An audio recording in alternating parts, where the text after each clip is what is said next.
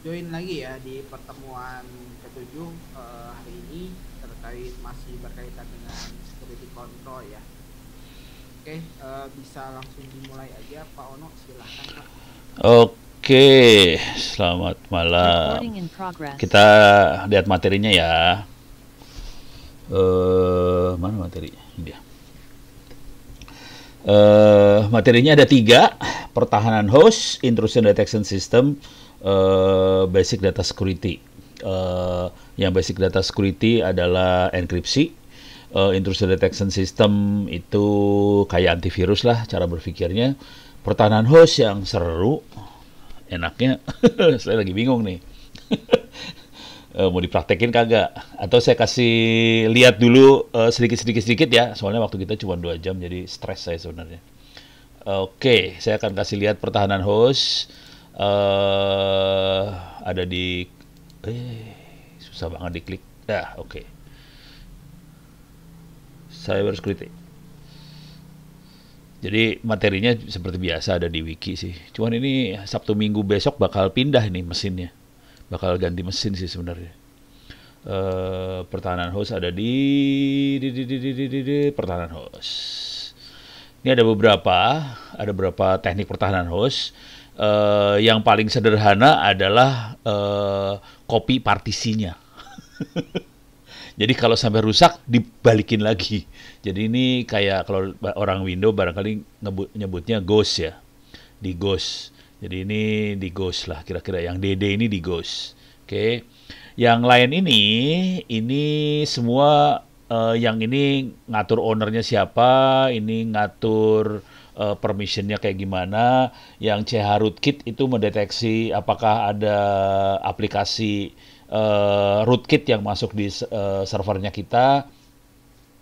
Uh, dan yang uh, tripwire ini buat nge, uh, yang paling favorit saya tripwire sih sebenarnya jadi tripwire fungsinya adalah untuk uh, jadi dia akan ngambil semua file konfigurasi, dikopiin, kemudian di encrypt file konfigurasinya, sementara file konfigurasi yang aslinya masih tetap ada. Nah, kemudian dia cek kalau ada yang berubah, dia akan uh, jadi dia ngecek terus semua file konfigurasi ada perubahan nggak? Bukan file konfigurasi ya. Uh, kita kita bisa nentuin file apa aja yang harus dia perhatiin. Jadi kalau ada file-file tadi berubah, dia akan ngasih tahu kita. Jadi teknik pertahanannya macam-macam. Jadi yang ini adalah file dicek berkali-kali. Ini kita apa sih namanya?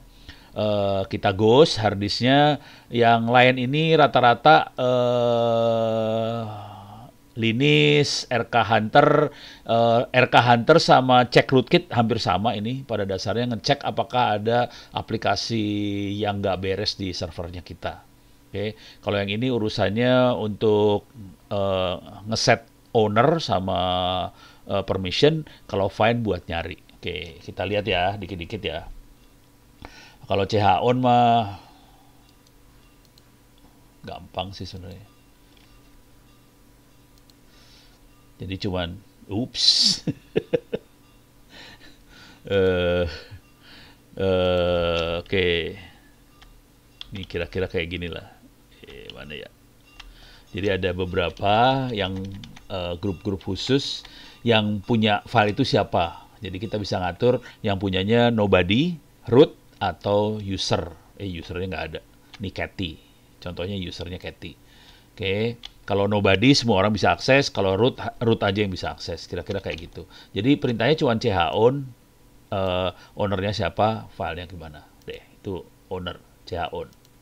Sekarang kita masuk lagi uh, Mode. Oke. Yang ini nggak akan saya demoin ya, soalnya takut waktunya kalau demoin lebih lama soalnya waktunya.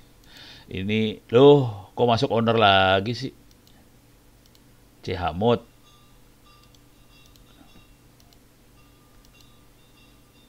Nih, mudah-mudahan kok oke benar masuk. Uh, kita bisa lihat yang ininya sih. Jadi kalau kita ls nama file, kita bisa lihat yang ini. Uh, R adalah dapat izin untuk di read, write, x execute, uh, ini read execute. Uh, distributed storage system, jujur saya belum pernah pakai sih. Ini ada pertanyaan dari Pak Yoga Bayu Aji. Distributed system seperti apa? Kekurangan kelebihan? Jujur saya belum pernah pakai. Uh, takutnya itu istilah orang marketing sih. Jadi kalau yang ada di kepala saya kira-kira gini, coba gue pengen cari juga istilahnya DSS uh, eh, storage ya. Distributed storage service. Oh. Seringkali jadi istilah orang marketing sih. Oh, oke. Okay. Oh, oke okay, oke okay, oke. Okay. Uh, sederhananya gini lah cara berpikirnya lah. Uh, ini sebenarnya ini jujur ya. Kalau kita udah mainan kayak ginian sering kali akan kecampur antara istilah marketing sama istilah yang kita pakai admin jaringan. Uh, jadi di dunia admin jaringan yang ini jarang dipakai sih. Tapi pada dasarnya cara berpikirnya adalah uh, ini ini lebih kayak cloud cloud tapi cloudnya cloud storage ya. Kayak gitu sih. Ini cloud storage sih. Kalau disederhanakan ini cloud storage. Kan cloud bisa cloudnya bisa cloud uh, prosesor, uh, mesin segala macam yang ini storage dan ini uh, dengan DSS ini kita bisa uh, apa uh, harddisk banyak ini kita ngelihatnya sebagai satu harddisk aja kira-kira kayak gitu cuman pengalaman saya uh, kalau di Linux kita yang pakai kayak gini namanya LVM Linux Volume Manager. Jadi berapa harddisk akan kelihatan sebagai satu harddisk. Masalah paling besar di sini kalau ada sampai crash segala macam susah banget nge-repairnya. Jadi saya nggak terlalu uh, favorit ke hal-hal yang seperti ini sih. Saya sangat ini banget sih, sangat konservatif. Kalau harddisk ya harddisk aja. Saya nggak nggak tertarik buat kayak ginian sih. Soalnya repairnya parah banget, gitu ya. Jadi saya nggak nggak kalau mau jujur saya nggak terlalu suka sih. Jadi saya kalau harddisk harddisk mendingan saya backup uh, satu hari saya copyin persis sama, jadi saya punya dua harddisk yang sama persis. Jadi saya cara bermainnya gitu, dan harddisk ini akan ditempelkan ke folder, folder apa gitu, tempel. Dah, lebih gampang maintenance segala macamnya sih. Intinya kayak gitu aja. Oke, beres. Nah, sekarang balik lagi. Ini jadi uh, geser dikit. Uh, Oke, okay. sekarang mana tadi? Mana ya? Oh, clear segede ini. Nah, oke. Okay. Sekarang CH Rootkit. Ini CH Rootkit, Arcanter, OS X segala macam ini buat ngecek apakah ada rootkit di dalam uh, server yang kita pegang. Rootkit itu adalah uh, uh, aplikasi yang ngambil alih root sih pada dasarnya. Jadi CH rootkit, cek rootkit ini buat ngecek apakah ada aplikasi yang bisa ngambil alih root di servernya kita. Oke, okay. uh, eh, kita bisa ambil rootkit ini dari website ini FTP pan pangeia gitu rootkit.tar.gz kita bisa compile kemudian uh, jalanin. Nah dia akan nyeken nih sebenarnya. Dia bisa kita perintahin untuk uh, nyeken segala macam dan nanti dia bisa nge, uh, ngecek apakah ada uh, dia sendiri infected atau enggak atau juga dia bisa ngecek si uh, folder ini folder ini ada masalah enggak di folder-folder itu jadi kita bisa ngecek itu semua sih oke okay? ini satu hal ini kayak antivirus lah kira-kira antivirus uh, cuman ini buat di server lah kira-kira kayak gitu uh, itu kit kira-kira kayak gitu cara berpikirnya Alah. Ya, balik lagi ke sini lah. Uh, ini RK Hunter juga sama rootkit Hunter pada dasarnya dia. Jadi dia mengejar rootkit. Uh, ini sama aja kita bisa ini ini compile. Jadi semua mainnya compile ya, bukan install biasa. Uh, kita bisa download dari SourceForge, kita bisa compile sama install. Kemudian ini cara jalaninnya, kemudian ini cara jalan. Uh, sorry, yang ini tadi ngompile, waktu compile. Nah ini kalau jalaninya kira-kira kayak gini. Oke, okay. uh, eh, dan kita bisa dilihat di lognya. Uh, kita kadang mungkin perlu uh, tuning konfigurasinya RK Hunter supaya jalannya lebih bagus. Konfigurasinya ada di etcrkHunter.conf. Nah, ini kita bisa set kalau ada apa-apa kirim mail ke siapa, uh, subjeknya seperti apa. Nah, terus dia bisa kita set uh, monitoring uh, folder apa aja, file apa aja. Ini bisa di set semua. Device apa yang di ini lihat uh, semua bisa dilihat. Nah, terus kita suruh dia jalan pakai cron kayak gini. Cron itu untuk menjalankan uh, si RK Hunter pada waktu tertentu ya. Kalau 15.04 berarti dia jam 4 pagi, uh, jam 4.15 dia jalan. Gitu ya. Jadi uh, dia akan jalan jam segini nih, kira-kira pagi-pagi. Oke. Okay. Oh, oke. Okay. Dari Mas Muhammad Agung, uh, Linux sama RK Hunter sudah ada di repository sekarang. Jadi installnya kali tinggal apt get install RK Hunter. Oke. Okay. Tapi jalaninya kayak kayak gini ya. Beres. Oke. Jadi ini sebaiknya kalau ini jadi Anda Anda kan uh, cyber security analyst ya. Jadi kita uh, bisa ngecek aplikasi-aplikasi ini keinstall nggak sih? Kalau keinstall, oke, okay. berarti uh, ada aplikasi yang buat ngamanin mesin, ngecek keamanan mesin. Oke, jadi mesin nggak bisa dijalanin sendiri sih.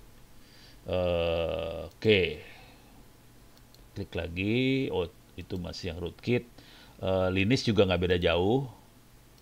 Jadi semuanya nggak beda jauh semua sih. Yang ekstrim banget DD. DD itu ekstrim karena dia pada dasarnya ghost.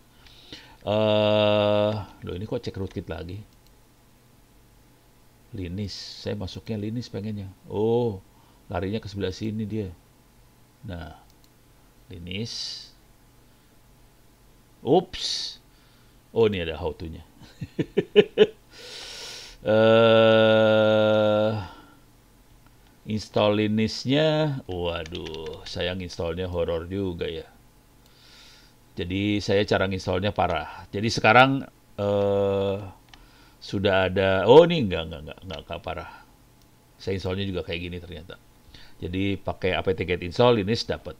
Uh, cuman saya harus install ininya dulu apa uh, repositorinya dia lah Kira-kira kayak gitu. Oke, nah perintahnya kira-kira ini kita bisa audit, kita bisa konfigur, kita bisa generate, bisa lihat update segala macam. Uh, settingannya seperti ini, uh, bisa ngatur warna, uh, uh, upload ke server mana, segala macam. Nah, nanti kalau Linux update info, kita bisa tahu Linuxnya versi berapa, segala macam bisa kelihatan. Kalau suruh ngecek cuman gini aja, cek nanti dia akan ngecek sistem. Oke, okay. nah bagusnya adalah dia keluarnya seperti ini, panjang banget, asli panjang banget. Oke, okay. uh, eh, kita bisa lihat ada masalah apa di sini. Ini ini ada ini masalah, bukan masalah sih sebenarnya warning aja. Terus di sini masih oke oke oke. Nah ini ada ketemu sesuatu yang ajaib. Ini ketemu ada compiler terinstall.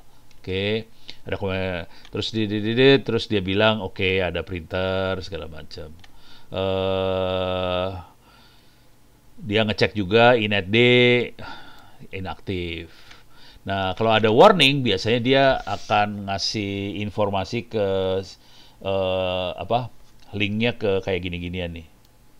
Vulnerable apa yang yang berhasil dia temuin. Nanti dia kasih tahu sih. Nah dari situ kita bisa nanti uh, apa cek oke okay, ini masalahnya di mana? Ya udah solusinya apa? Bisa dilihat.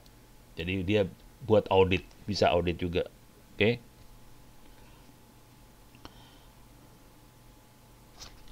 Linux audit system remote oh mirip eh, nmap nikto artinya ya oke okay, oke okay. ini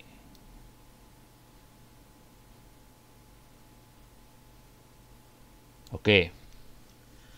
Jadi kira-kira memang oh ini bisa nge-remote juga ya. Jadi pakai Linux Audit System Remote ini. Saya masukin ya. Oke. Alah, susah banget sih ngambilnya dari chatting. Ini lagi ngambil dari chat ya, susah. Ya udah mendingan gue langsung dah. Uh, ini ke atas dulu. Nih ya, Ini saya tambahin di sini. Eh, sorry, sorry. Ini untuk audit. Eh, nggak ada. Ya udah. Oops, pantas saya dari di sini saya harus pakai uh, wiki yang satunya lagi. ada dua wiki. Uh, Oke, okay. lakukan audit. Uh, Oke, okay. ini ngedit nih, nambahin. Kalau mau remote,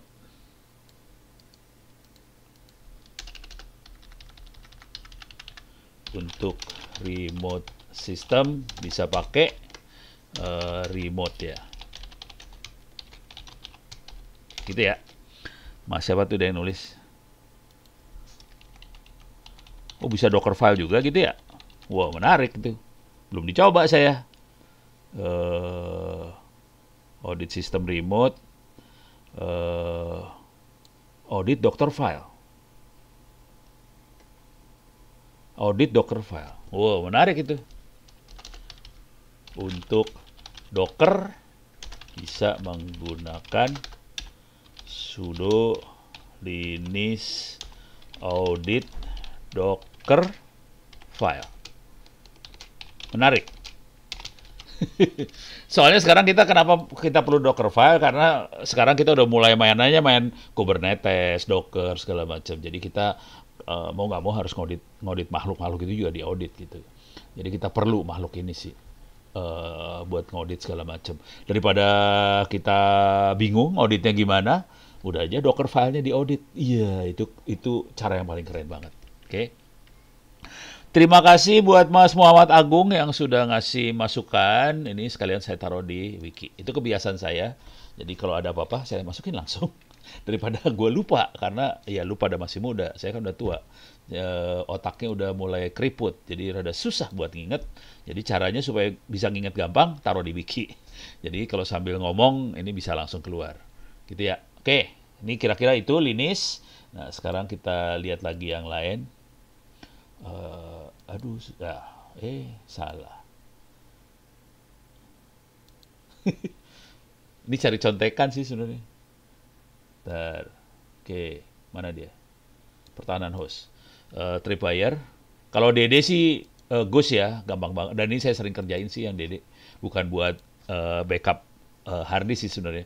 Misalnya saya punya CD-ROM, saya pengen colong CD-ROM-nya jadiin file ISO, caranya gini aja sih.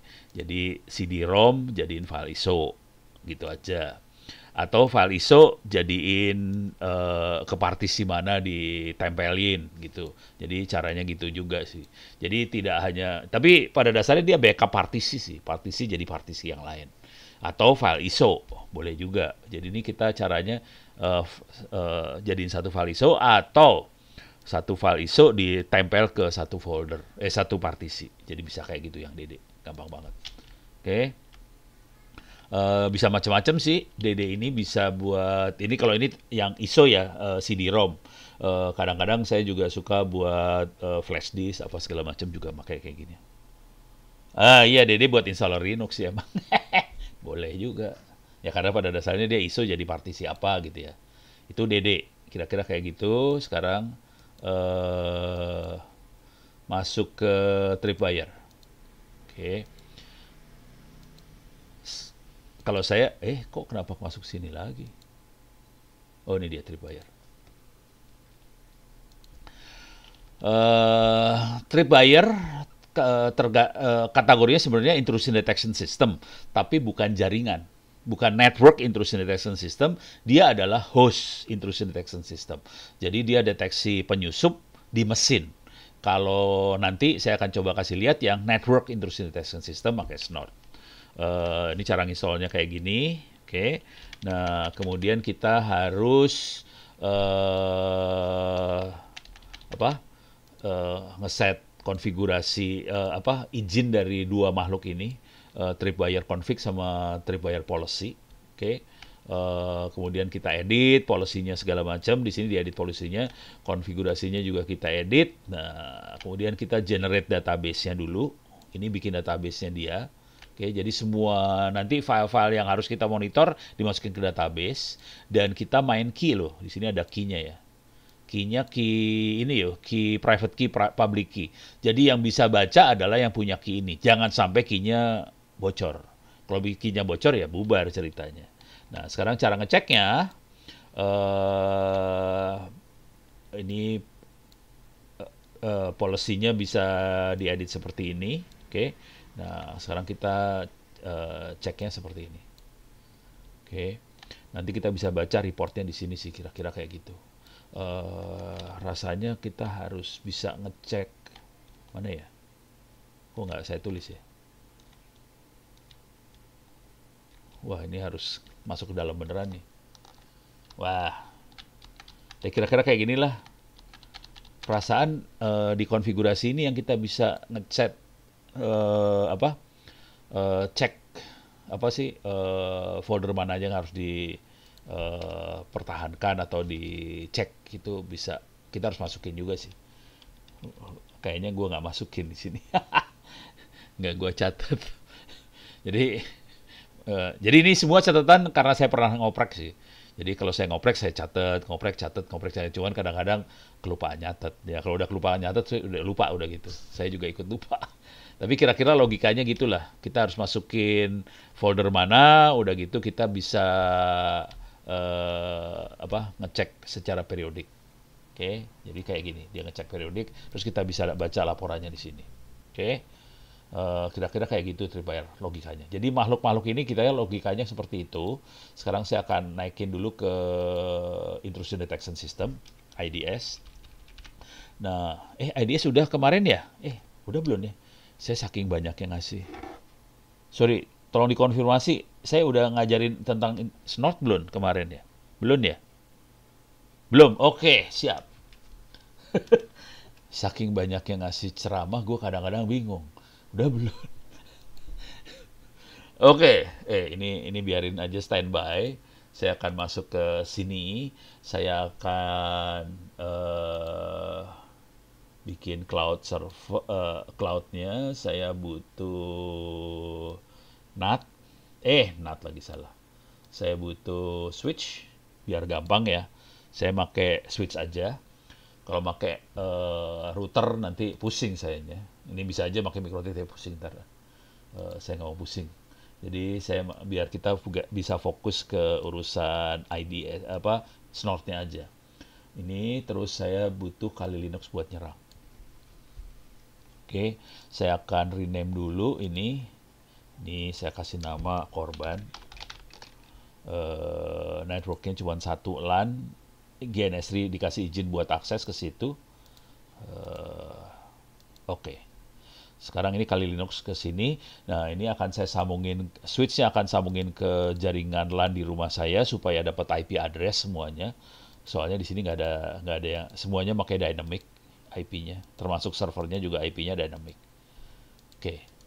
Sekarang saya ini kita nyalain semuanya, kita on, start resume, start semua node dijalanin. Yes.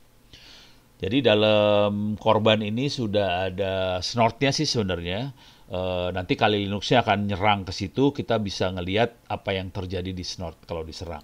Gitu ya, kira-kira kayak gitu. Which, saya kasih lihat dulu cara nginstallnya snort. Uh, jadi mesin ini hari Sabtu Minggu besok akan diformat sih. jadi Ono Center ORID akan diformat Sabtu Minggu besok uh, ganti mesin. Oke. Okay. Uh, eh, snot. Soalnya udah lama banget ini. Umurnya udah berapa? tujuh tahun kali, lupa saya. Jadi mau ganti. Uh, saya masuk ke snort ini. Eh sorry, salah. Cara instalasinya nggak susah sih sebenarnya instalasi cuma seperti ini aja. Uh, kita harus tahu dulu nama interface yang monitoring jaringan apa aja, kemudian kita installnya seperti ini. Oke. Okay. Ada Oink Master, uh, ada Snortnya sebenarnya cuma ini aja Snortnya. Terus Snort itu kayak antivirus, jadi ada engine-nya, terus ada database. Jadi dia akan membandingkan paket yang lewat dengan database yang dia punya. Database-nya itu yang ini nih, ini database-nya dia sama ada dua ada dua sama Oink Master yang database yang ini adalah buatannya Snort, yang Oink Master ini yang buatannya komunitas. Yang ini free, yang ini juga kebetulan free. Cuman Snort itu kalau berlangganan uh, dia akan ngupdate kita database. Uh, jadi cara hidupnya si Snort itu karena ada orang yang langganan sama database serangan, uh, udah gitu dia uh, apa jadi lebih update jadi dia bisa deteksi serangannya lebih update lah kira-kira kayak gitu jadi kira-kira cara bisnisnya kayak antivirus lah jadi antivirus kan hidupnya dari database ini juga sama dari database. Cuman udah gitu yang seru adalah kalau uh, reportnya itu dijadiin satu. Nah ini yang jadiin satu namanya AT&T kalau nggak salah. Coba kita lihat ya. AT&T uh, Security Snort gitu ya. Nah ini cybersecurity NTNT, uh, eh, oh uh, dia makainya yang mana? lupa antara Surikata, Snort atau uh, ini lupa saya.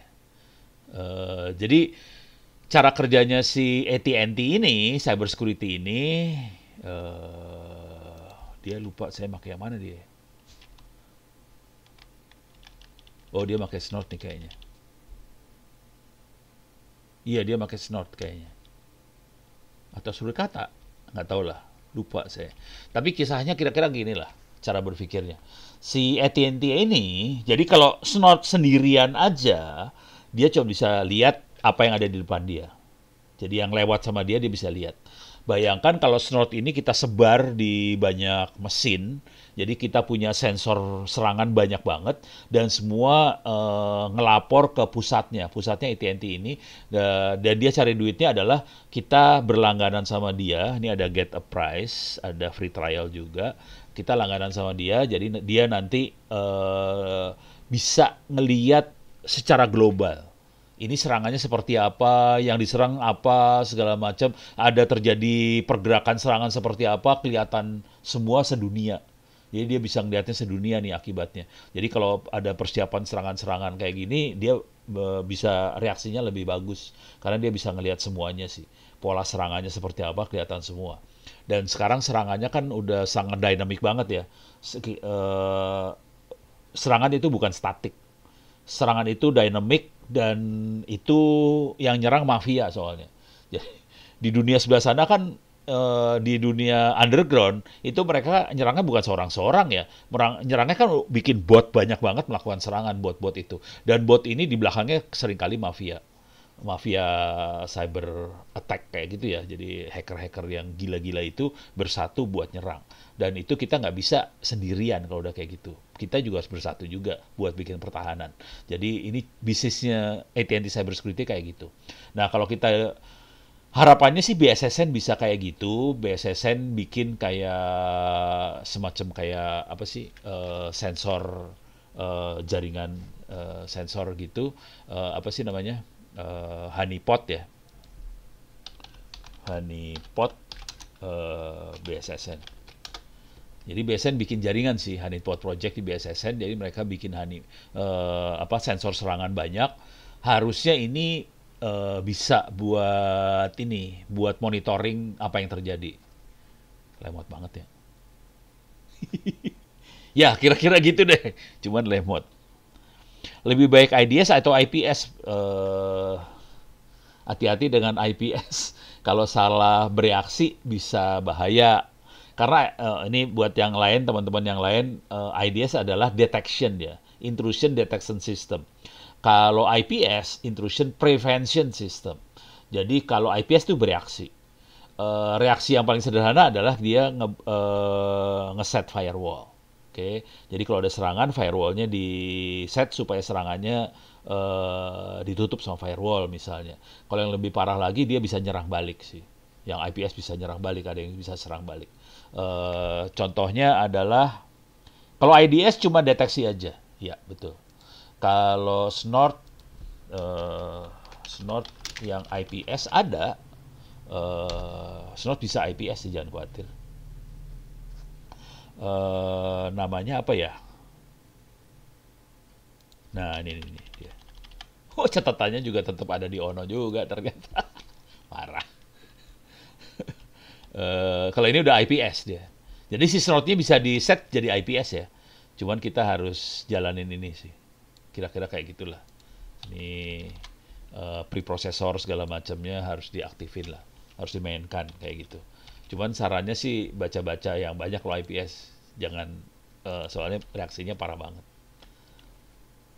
Oke, jadi snort bisa juga. Oke, sekarang saya saya akan turun lagi ke snortnya lagi. Jadi ada snort, ada honeypot, uh, segala macam. Cuman kita akan lihat snort aja malam ini. Eh, alah, kenapa nggak bisa diklik? Oke. Ntar. Uh, kita langsung aja lah ya, ngasih lihat makhluknya. Kalau ini lebih gampang lihat makhluk langsung. Nah, ini kondisinya sudah on semuanya. Uh, saya butuh lihat IP address sih sebenarnya. Saya masuk ke server sekarang. Uh, dan saya juga perlu masuk ke Kali Linux. Jadi saya masukin ini dua-duanya ya. Kapan menggunakan IPS, kapan IDS? Yang pasti IDS sih. uh, IDS, IDS itu uh, pada dasarnya cara kerjanya adalah kita ngelihat log. Paling enak kalau kita bisa nginstall dashboard. Dashboard bisa diinstal dan kita bisa ngeset alarm ini akan kita kasih lihat nanti alarmnya. Nah, uh, jadi kalau si IDS sampai alarm aja, sampai dashboard aja. Kalau IPS, uh, eh, dia bisa bereaksi langsung tanpa nunggu si admin. Kira-kira kayak gitu. Jadi kalau serangannya ada serangan-serangan yang parah dan misalnya orang ada ada apa hacker yang berusaha berusaha ngecek apa uh, ngejebolin password ya brute force Nah, ini kalau ada deteksi kayak gituan, ya, ya serah IPS bisa. Atau ada atau ada inilah virus. Uh, kalau ada virus yang uh, kan virus bisa nyebarnya cepat banget ya. Nah, itu bisa diblokir pakai firewall segala macam. Jadi itu biar IPS yang ngerjain bisa nggak masalah sih. Oke. Okay. Ya, betul. Dikombinasiin banget sih. Uh, Oke, okay. kita akan ngecek kita akan masuk dari sebelah sini ke servernya. Cuman saya butuh tadi IP server berapa? Uh, eh, 0163. Oke. Saya gedein.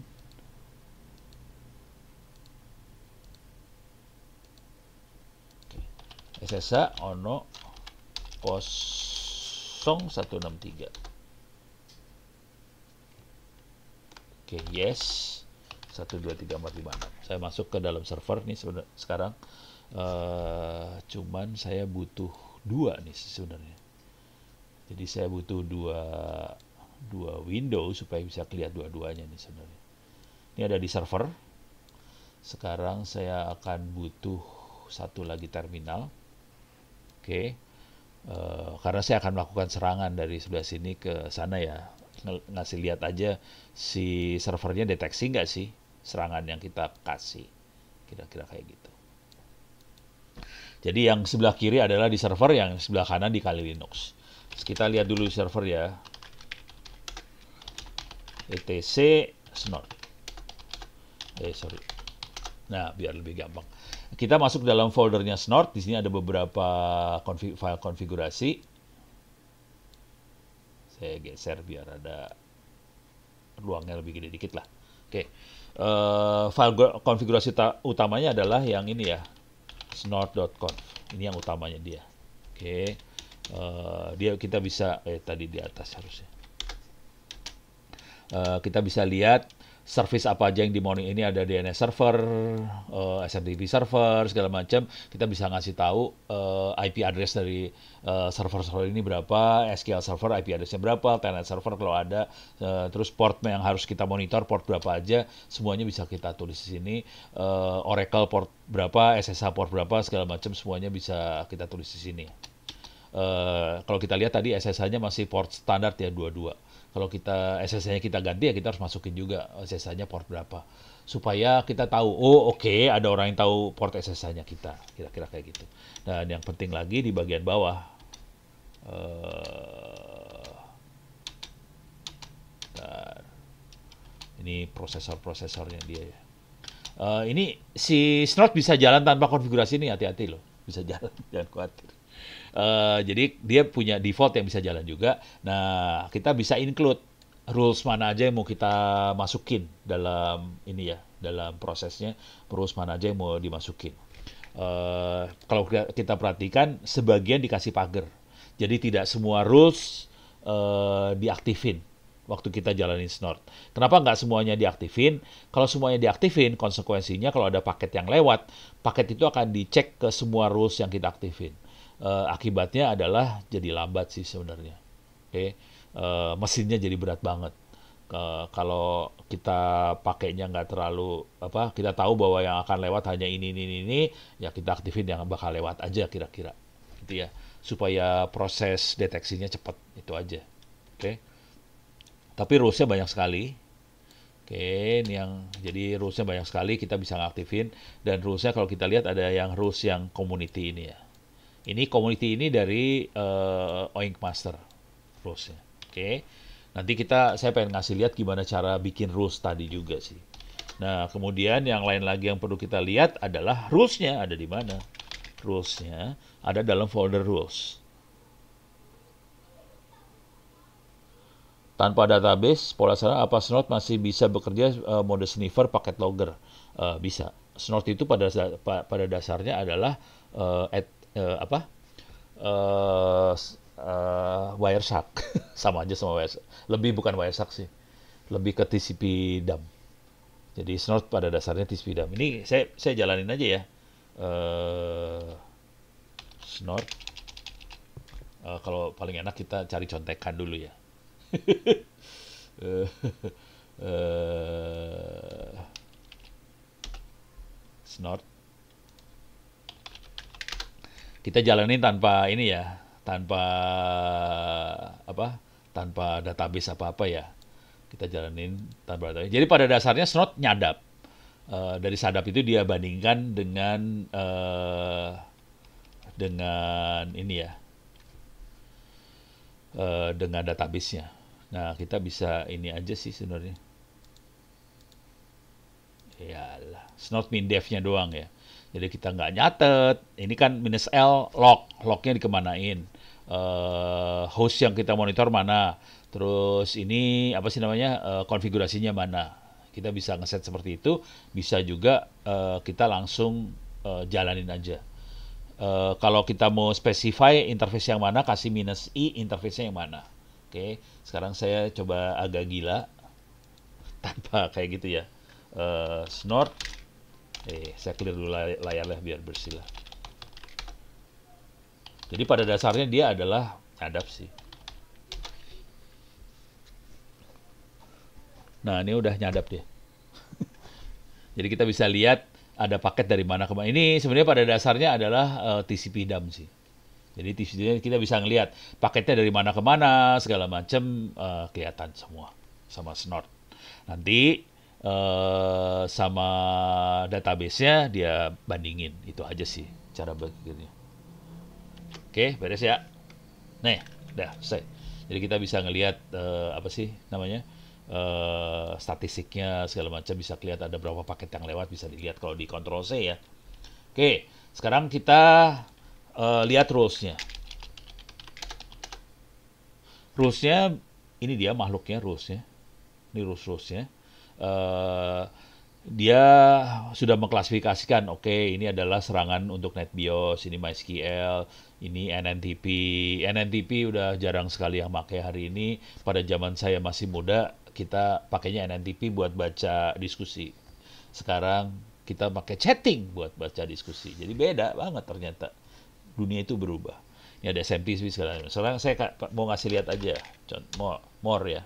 Uh, misalnya kita pengen lihat virus, virus, rules. Rulesnya kayak gini sih. No, rulesnya cuma gini doang.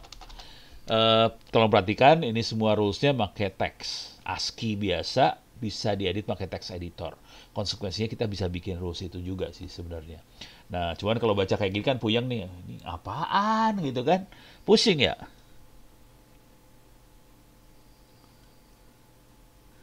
Ini ada pertanyaan dari Mas Ismail. Untuk serangan umumnya akan bervariasi. Idealnya rule apa yang sebaiknya diaktifkan dan perangkatnya harus speknya seperti apa? seru itu. Uh, sebetulnya sebelum sampai level itu mendingan dianalisa dulu uh, uh, rata-rata mereka uh, akses ke service apa, port apa yang diakses, layanan apa yang diakses. Jadi yang kita aktifin hanya rule yang banyak uh, port uh, yang diakses tadi. Misalnya, saya kasih lihat lagi ya.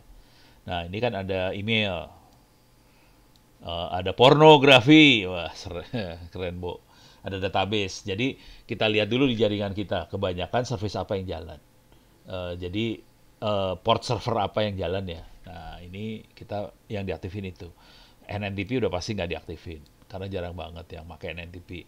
Uh, web kan tergantung. Kalau ada web server ya pak kita perlu web. Tapi kalau nggak ada web server ngapain web diaktifin? Jadi ini ini tergantung banget pada layanan apa yang beroperasi di jaringan kita. Kira-kira kayak gitu ya. Ya benar, Mas Agung tadi. Kalau AI yang pakai AI, big data adakah dinamik? Nah, itu itu adalah riset S2 S3. Buat Mas Yoga Bayu, jadi IDS yang pakai AI, jadi udah udah mulai kebaca ya. Rules ini kan statik banget ya. Uh, jadi mereka sekarang udah mulai riset uh, rulesnya tidak pakai statik kayak gini rulesnya itu pakai AI, pakai artificial intelligence. Dan itu adalah uh, riset S2 S3 sih sekarang. Gitu ya. Jadi kalau uh, Anda pengen uh, apa? Uh, dapetin gelar S2 S3, ini adalah topik penelitian yang paling keren hari ini. Oke, okay? ini. Dan uh, teman-teman di Dell, Dell komputer itu, mereka itu uh, pakai rules yang AI kayak gini uh, buat uh, mungkin bukan buat network intrusion detection system tapi buat host. Jadi mereka bikin solusi ini saya kasih cerita Dell-nya dulu ya. Jadi Dell uh, karena Dell kan perusahaan komputer sih sebenarnya bukan perusahaan jaringan ya. Uh, Dell itu perusahaan komputer, dia solusinya adalah server, mesin servernya langsung atau storage segala macam. Jadi lebih ke servernya, ke hardwarenya daripada ke jaringannya. Nah, salah satu masalah paling besar hari ini adalah uh, ini ransomware. Jadi solusi yang dikasih sama Dell adalah dia nge-backup. Sistemnya pada dasarnya backup. Backup dari image server atau data server di backup periodik. Nah, cuman untuk bisa deteksi itu ada ransomware atau enggak, ransomware kan sangat ini banget ya, nggak bisa dideteksi sih sebenarnya karena dienkripsi. Nah, dia mainnya AI buat deteksi apakah itu ada ransomware atau enggak. Gitu ya, beres ya. Jadi itu, tapi uh, cara kerjanya kira-kira kayak gini ya uh, cuman dia makainya make AI udah sama juga sama jaringan juga sama sih uh, ini kita perlu AI soalnya uh, apa pola serangan di jaringan ini berubahnya dahsyat banget sekarang. Nggak kekejar sebenarnya sama sama rules ini nggak kejar. Jadi kalau kita langganan sama snort segala macam agak-agak setengah-setengah percuma sih sebenarnya. Karena serangannya udah parah banget sekarang. Serangannya nggak kekejar. Perangkat NG firewall. Uh, ada ya? Uh, gak tahu gue. Maklum, nggak punya duit. si Ono pakai perangkat yang bisa dibikin sendiri. pakai Linux doang. Ya oke, okay. terima kasih buat Mas Indra. Jadi perangkatnya NG, NG kayak next generation ya, FW firewall. Gitu ya. Jadi mereka pada pakai AI semua sih sekarang. Jadi itu adalah riset S2 S3 yang keren-keren. Oke, sekarang sekarang saya kasih lihat cara cara bikin rulesnya uh, dulu ya.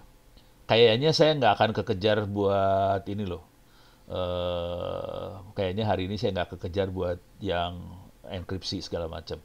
Jadi enkripsinya saya akan tunda ke minggu depan kayaknya uh, sekalian sama ISO 27001 segala macam supaya saya bisa fokus ke urusan ini ya. Soalnya enkripsi nggak nggak susah-susah amat sih. Oke, sekarang kalau kita lihat rulesnya bentuknya tadi kayak gitu, kita lihat yang community ya, virus. Lebih banyak dia. Perhatiin yang komunitas lebih banyak banget. Daripada yang tadi yang uh, bikinan si siapa namanya? Si Snort. Snort cuma satu rules. Ini banyak nih. Uh, startnya kita bisa lihat dari sini nih kata-kata alert. Itu startnya dia. Uh, mana tadi? Ini alert. Stopnya di mana? Buset, ini sepanjang ini nih. Oh ini dia, stopnya di sini. Ini satu rules. Ini ada alert lagi, satu rules lagi nih. Ini satu rules lagi nih. Ini satu rules lagi. Oke. Jadi satu rules satu rulesnya kayak gitu. Kalau kita perhatian perhatiin lagi formatnya kira-kira gini, alert. Ada dua sih sebenarnya nanti dia bisa alert bisa lock. Kalau alert nyatet doang, kalau alert dia ngasih tahu, oh ini bahaya. Kalau alert kayak gitu ya. Nah, habis kata-kata alert dia ngasih tahu protokolnya apa. Oke, ini UDP kebetulan. Terus jaringannya apa? Jaringan source-nya apa? Jaringan destination-nya apa? Oke. Dan ini jaringan dan port ya. Ini jaringan dan port, ini jaringan dan port. Portnya 53 eh, berarti eh, DNS ya. Oke. Terus ini message yang dikasih di alertnya. Ini message dikasih di alert yang dalam tanda message ini yang tanda kutip alert. Nah, kontennya ini dapatnya dari mana kata-kata konten seperti ini? Ini ada konten, ada konten. Parah nih. Nah, konten-konten ini dapatnya dari mana? Ini ada konten juga. Ini kita nyadap. Jadi kita sadap bagaimana si virus tadi melakukan serangan. Jadi kita nyadap, oh oke, okay, kalau virus ini dia akan ngeluarin uh, paket yang payloadnya seperti ini, bawa paket yang isinya kayak gini. Nah kita masukin aja ke dalam konten, gitu. Ini payloadnya, kontennya kayak gitu ya. Nah udah gitu, uh, ini kategori serangan seperti apa? Ini masukin ke sini nih, kayak gini nih. Oh ini sorry, ini kayak gini. Referensinya ke mana? Nah, terus kita bisa masukin lagi class type-nya apa? Ini kita definisin, kalau class type kita definisin. Yang perlu lagi kita definisikan adalah yang ini, nomor. Nomor ini nggak boleh sama, setiap ini harus beda-beda. Ini kalau kita perhatikan ini nomornya eh, belakangnya 311, bawahnya nih 312. Bawahnya lagi beda lagi. Jadi tiap tiap rules nomornya beda gitu ya. Tapi harus kasih nomor. Yang jadi masalah kalau nomor sama, dia bingung nanti. Uh, ini rulesnya abis ini ngecek rules. Soalnya dia akan di, di ininya berurut, berurutan nanti. Uh, apa sih?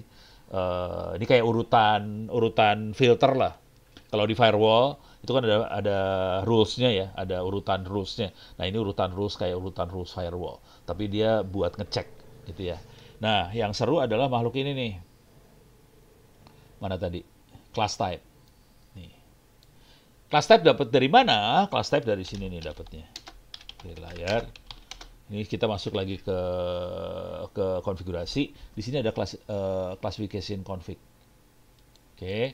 Kalau kita lihat isinya classification config. Nah, kita bisa lihat di sini. Nah, di sini sih sebenarnya kita ngisi sih sebenarnya. Ini kita bisa lihat uh, ini nanti kita masukin ya kata-kata ini yang kita masukin ke rules ya ini not suspicion, ini uh, apa kategori tiga, yang berbahaya kategori satu. Oke, okay. Ini ada unsuccessful user kategori satu nih, yang bahaya-bahaya satu. Nah kemarin kejadiannya di Mabes, di Mabes, di Mabes TNI, yang dikeluarin kata-kata seperti ini, bad unknown, attempt recon, sukses recon limited. Jenderalnya nanya dong, ini yang di layar itu apa ya? Jenderalnya nanyanya gitu, simpel pertanyaannya. Itu yang di layar apa itu artinya ya? Ternyata susah.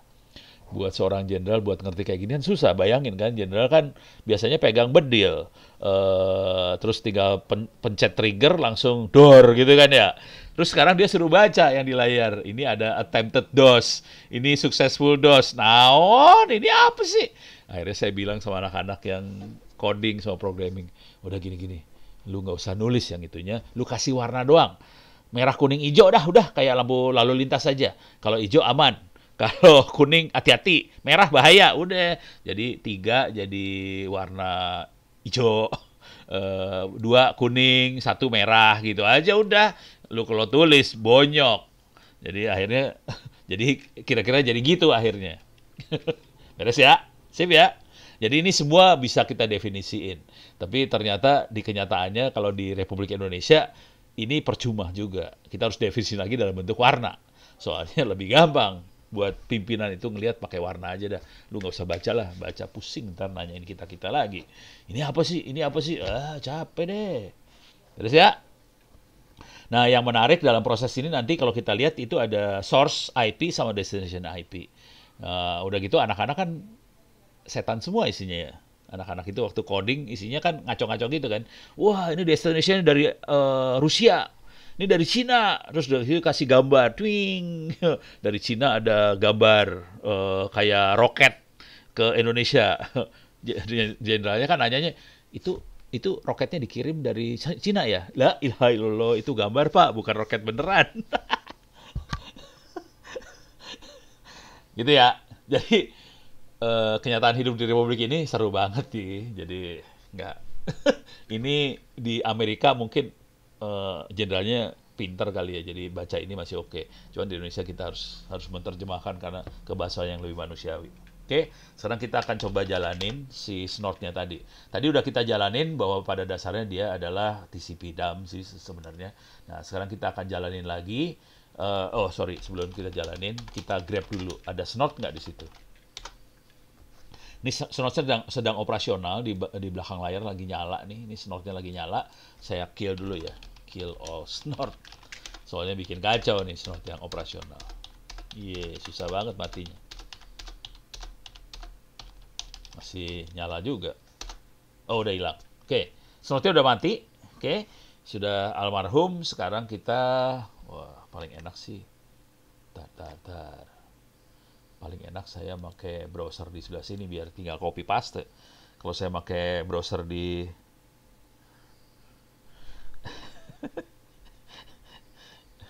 Oke. Okay. Uh, eh, aduh. Oke, Ono Center Wiki. Oke, uh, Snort. Sekarang saya akan coba jalanin dan kita akan bikin Snortnya monitoring uh, jaringan ya. Uh, ini masuk sini lagi.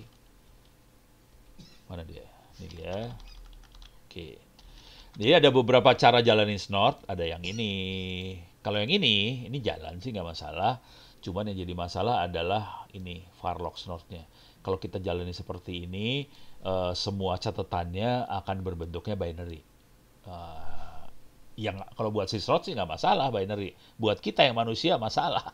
Karena kita nggak jadi nggak bisa baca log. Jadi caranya supaya ini juga sama. Ini contoh lagi. Uh, nah saya biasanya akan jalaninya seperti ini. Kuncinya yang ini nih sebenarnya saya bikin lognya jadi ASCII. Kalau enggak, saya nggak bisa baca. Oke, jadi ini saya akan pakai ini. Klik kanan copy. Saya masuk lagi ke add ini kali Linux ini snotnya. Saya masuk var log snot. Oke, ini kelihatan. Sorry. Ini kelihatan udah ada log.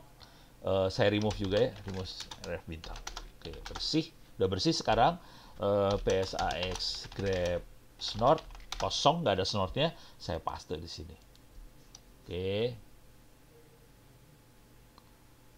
ayo dong cepet cepet cepet cepet cepet cepet oke udah jalan sekarang uh, uh, demon child sudah hidup live katanya jadi dia sudah menghidupkan anak setan demon kan setan child anak anak setan sudah dihidupkan uh, kita bisa lihat anak setannya ada di sini grab snot. Ini dia yang kita jalanin tadi. Oke. Perhatiin yang penting yang ini sih sebenarnya. Nih, ini yang paling penting. Oke. Sekarang kalau kita lihat, saya clear dulu layar, kita lihat lagi. Wow, udah udah udah langsung dapat alert aja ini ya. Parah. Coba kita more alert. Wes. Ups, sudah ada aja. Parah. Wah, karena saya Nah, ini jadi masalah nih. Karena saya tadi nggak pakai router ya, jadi ini kebuka. Semua traffic yang ada di rumah saya kebuka semua jadi uh, bikin kacau. Tapi yang yang yang rada rese adalah makhluk ini nih UPnP scan. Oke. Okay. Uh, eh, cuman ini cuman service discovery attempt ya. Uh, classification nih kalau kita lihat prioritinya tiga sih jadi nggak apa-apa. Ini ini hijau sih sebenarnya, cuma nyebelin aja kayak gini. Jadi supaya nggak sebel, ini bisa kita buang aja apa uh, rules yang ini bisa kita buang sih sebenarnya. Oke. Cuman ya udahlah ini jalan UPnP uh, operasional. UPnP itu apa? Kalau Anda pengen tahu UPnP itu apa? Uh, UPnP adalah yang buat video ini loh. UPnP. Jadi uh, ini kira-kira kalau sederhananya kira-kira gini lah. Kalau kita punya video server kayak di Garuda, di dalam pesawat terbang, itu kan kita Garuda atau Batik Air, itu kan ada TV di kursinya. Nah, itu TV itu akan ngomong ke server, ada servernya di dalam Garuda, jangan khawatir. Uh, servernya ada di, di apa sih? di tempat orang naruh bagasi itu kalau nggak salah di belakang ditaruhnya. Ada server di situ di uh, tempat video-video taruh sana. Jadi semua kursi akan ngomong ke server itu. Cara ngomongnya pakai apa? Pakai protokol UPnP dia nanya ini uh, ada video nggak di situ? Videonya apa aja? Nanti pakai UPnP kita bisa nonton film dan sebagainya. Jadi itu sering. Dan ini juga terjadi di rumah saya Uh, tapi UPnP-nya udah dimatiin sih sebenarnya. Tadinya ada server UPnP saya aktifin. Uh, cuman ini uh, eh, TV smart TV-nya masih nanya ke jaringan. Ada UPnP server nggak di sini? Gue pengen nonton video dong. Ini smart TV-nya kayak gitu tuh. Rada-rada kurang ajar. Oke, beres ya. Nah, sekarang kita balik lagi itu UPnP. Cuman jadi jorok banget ya. Waduh, gara-gara gue kagak pakai mikrotik jadi kayak gini. Kalau pakai mikrotik bersih nggak ada ginian soalnya ke filter sama mikrotik. Ya udah nggak apa-apa. Uh, sekarang kita akan clear layar. Uh, watch minus n 5 tiap uh, 3 detik lah tiap 3 detik. Saya akan uh, lihat tiap 3 detik tail uh, far lock snort alert. Jadi saya lihat ujung kalau tail kan ujung bawah ya, ujung uh, terakhir dari file var log snort alert. Kita akan lihat ujung terakhirnya. Ini udah langsung keluar segala macam. Sekarang kita akan sudo su di sebelah sini, masukin password root. Uh, paling gampang nmap aja. Nah ini IP-nya berapa tadi ya? Lupa gue. IP-nya adalah 163. Ini IP 163 ya. Oke. Okay. 0163 Iya, no, mulai kelihatan. Uh, nih dia, Christmas scan and map Christmas kedetek. Oke, okay. jadi bisa ngeliat kayak gitu. Uh, ini ada bad traffic segala macam. Ini udah warnanya udah uh, ininya dua ya. Nah, ini UPnP jalan lagi. Oke, okay. sekarang kita lihat di alertnya ke bawah aja. UPNP nggak penting, UPNP nggak penting, UPNP, iya banyak banget UPNP, jorok banget ya UPNP-nya. Alah, alah, alah. Aduh, aduh, aduh. Aduh. Ah, nyerah gue. gue tambahin ini aja ya. Tapi butuh waktu nih sekarang. Waktunya bentar aja sih. Sorry. Kesel lagi kesal ini. Soalnya nggak bisa lihat. Karena ketimpa. Gara-gara si semprul ini. Jadi ini, ini pakai switch ini bukan keputusan yang baik ternyata. Jadi saya buang aja dulu di led oke kita buang switch. Ganti sama mikrotik dah. Kapok tuh ke switch. Kasih mikrotik aja situ ya. Oke tapi mikrotiknya masih kosong ini. Uh, jadi ini saya taruh di ethernet yang ini ini Ethernet yang sini, kemudian et, oops, oke. Okay. Terus Ethernet satunya disambungin ke sini. Uh, mikrotik saya onin dulu. Cuman mikrotiknya kondisinya kosong ya. Jadi nggak ada konfigurasi apa-apa, sama sekali kosong, blong. Uh, jadi saya harus konfigurasi dulu sebagai router supaya bisa hidup dia. Uh, cuman kalau ada mikrotik, konsekuensinya adalah uh, traffic yang ada di cloud ini jadi nggak akan ngotorin jaringan kita jadi kita bersih banget. Oke okay. sambil kita nunggu mikrotiknya on saya akan kerjain ulang. Ini saya bunuhin semua lagi. Uh, kill all. Oh nggak ada IP address. Ya udah saya dari sinilah sudosu. IP addressnya hilang ya jangan khawatir. Tadi kan uh, apa hubnya saya matiin tadi. Coba if config nggak ada IP IP-nya hilang nih udah IP kagak ada ya. Uh, kill all uh, snort. Snortnya dimatiin lagi. Uh, saya masuk var log snot remove in rf bintang jadi semua ini hilang. Uh, coba psax grab snot kosong ya. Jadi snot udah nggak ada uh, konfigurasinya juga hilang IP hilang juga bagus coba kita lihat oke okay, mikrotiknya sudah on uh, coba kita lihat di sini oke okay, mikrotik sudah on cuman saya nggak enak masuk sebelah sini saya lebih enak masuknya pakai konsol yang ini oke okay. dan keluar kayak gini admin Oke, saya udah masuk mikrotik. Sekarang saya akan konfigurasi cepat mikrotiknya supaya bisa langsung saya pakai. Saya masuk ke Ono Center lagi, biasa wiki. Uh, di sini ada konfigurasi mikrotik, cuman saya tidak pakai Winbox. Mikrotik.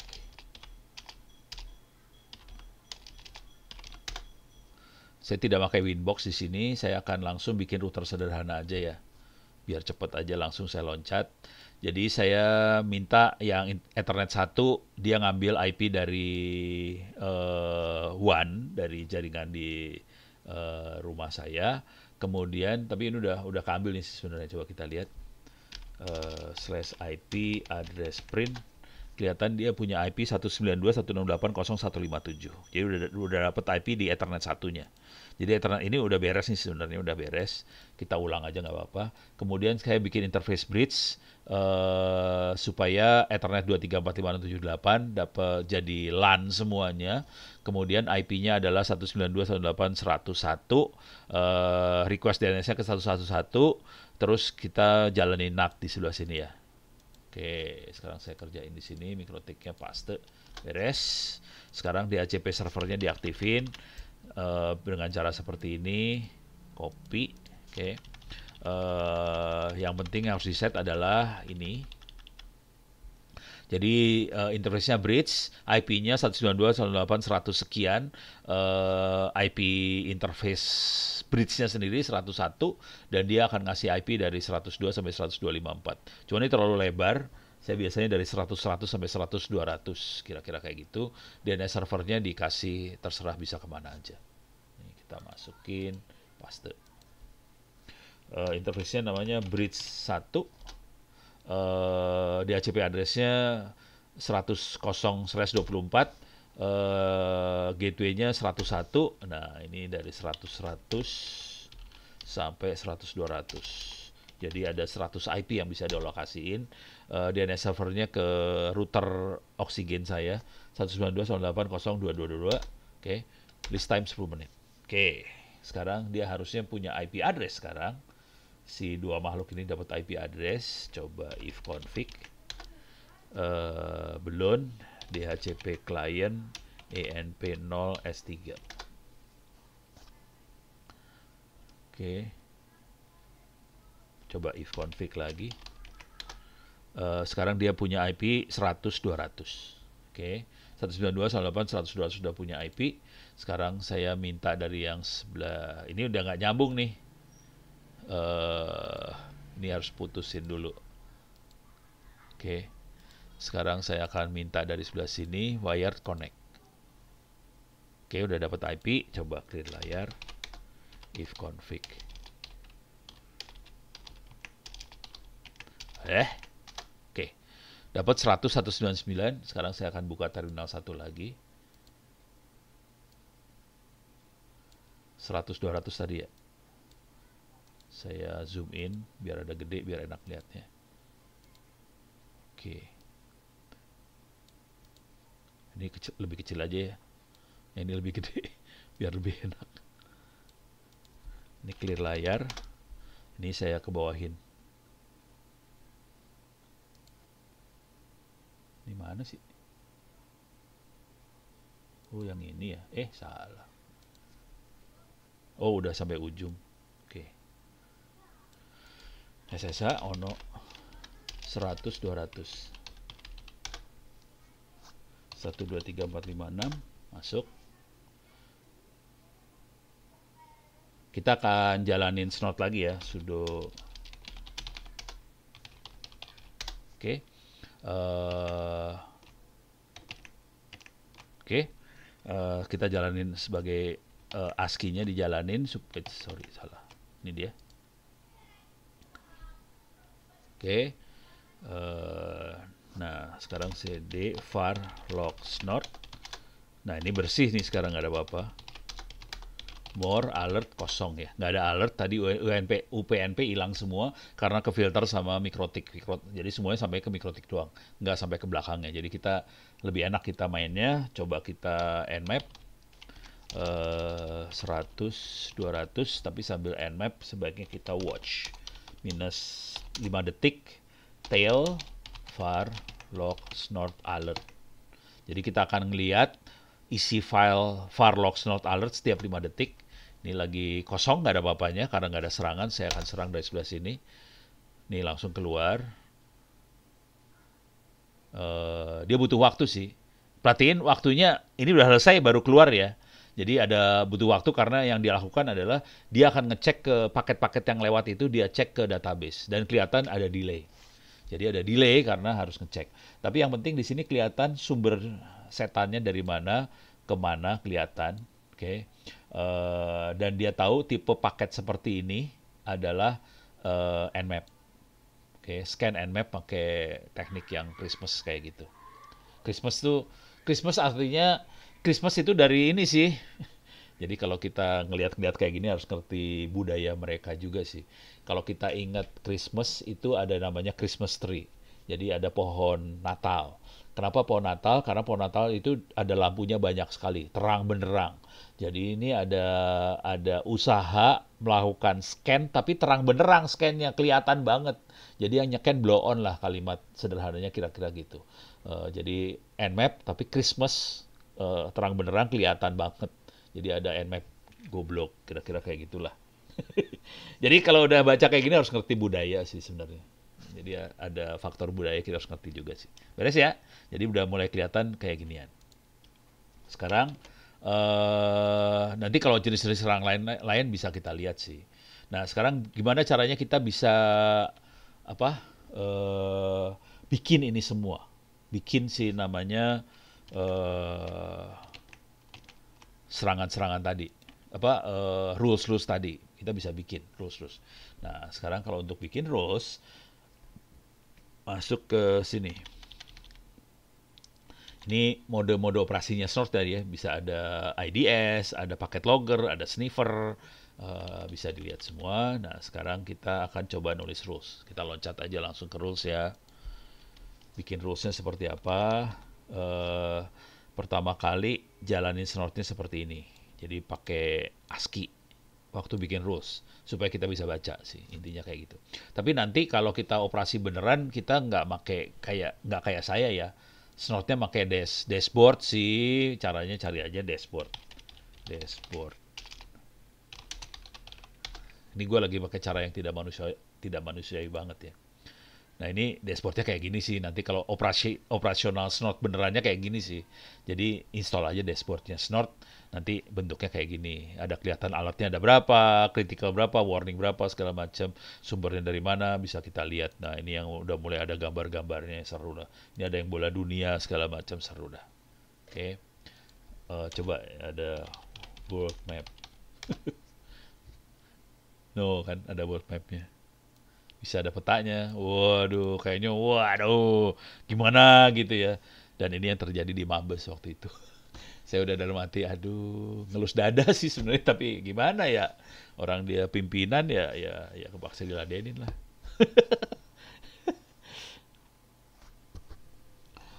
uh, kalau kita scan Nmap terus paketnya dipecah dengan apakah bisa kedeteksi uh, Tergantung rulesnya sih sebenarnya.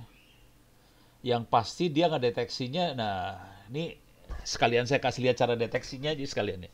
Sebenarnya yang dia deteksi uh, bisa IP-nya, bisa portnya. Jadi bisa campuran deteksinya. Ada IP, ada port, ada uh, konten, payload. Payloadnya apa? Oke, sekarang saya akan kasih lihat. Jadi kalau Anda udah ngelihat cara gitu, bisa tahu lah kira-kira kalau di uh, paketnya itu tadi dipecah, masih bisa kedeteksi kagak gitu ya. Bisa kelihatan sih. Tergantung nanti kita harus kita harus ini sih uh, nyadap pakai apa? Pakai Wireshark bentuk paketnya seperti apa. Nanti deteksinya kayak gimana gitu. Nah, Sekarang kita akan coba bikin apa database ya. Ini. Ini nanti jalannya kayak gini. Nah, sekarang rulesnya sendiri formatnya sederhana sih sebenarnya. Formatnya cuma seperti ini tadi kalau kita lihat. Actionnya apa? Actionnya cuma dua, lock atau alert. Itu actionnya cuma dua ya, lock atau alert. Oke. Terus protokol yang dipakai apa? Kita bisa punya tiga pilihan protokol, TCP, UDP, atau ICMP. Ini protokol di transport layer ya. TCP, UDP, ICMP. Dah. Kemudian udah selesai protokol, ini uh, address port, arah paket harus address port. Cuman gitu doang sih. Jadi bisa berbentuk kayak gini, log, catat, kalau TCP dari IP mana pun ke uh, eh, IP ini uh, dengan port yang ini yang dipakai. Arahnya bisa ke ke kanan, ke kiri atau kiri kanan. Bisa kayak gitu cara bikin arah. Kira-kira kayak gitu ya. Uh, nah, sekarang buat contoh, buat contoh, uh, kita akan bikin alert pakai uh, port TCP dari IP mana pun ke server. Karena uh, kita pengen tahu uh, apakah ada orang masuk pakai telnet. Karena kita tahu telnet, telnet itu port 23. Taunya dari mana port 23 telnet? Paling gampang caranya adalah, eh sorry, ya ini, ya, ya udah nggak etc more services. Jadi ada file namanya services, kita ada daftarnya nih. Nah, telnet port 23, SMTP portnya 25, time 37, uh, name server 42, tapi name uh, DNS domain 53. Oke. Okay. Jadi ada banyak uh, server yang akhirnya nggak nggak dipakai nggak jalan. Oke. Okay. Uh, ada SSH masih dipakai sampai sekarang 22 uh, FTP 21 uh, kalau kita mau transfer uh, ada FTP datanya 20 oke okay. uh, ada apa lagi? Bootpay. Bootpay ada 67 68 Gopher 70 dan hari ini nggak dipakai lagi Gopher. Finger 79 hari ini Finger udah nggak dipakai lagi.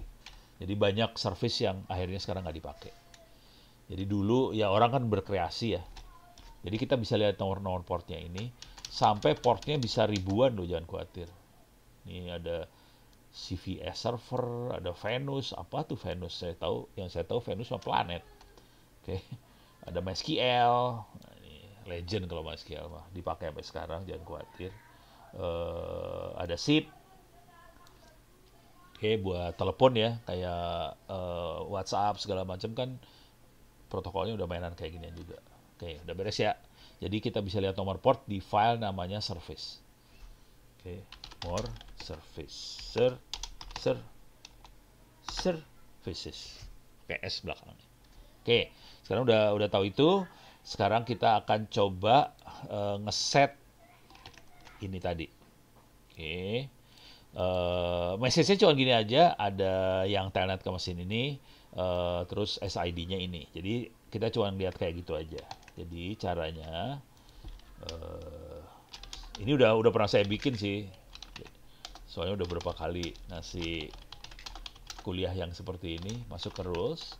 Nah, ini kan rules banyak banget. Biasanya uh, kalau kita bikin rules sendiri, kita biasanya masukin ke lokal. Lokal rules. Oke, okay, enter. Nah, ini udah ada nih. Ini dari any port ke any IP, portnya 23. Nah, ini kita ganti nih sekarang.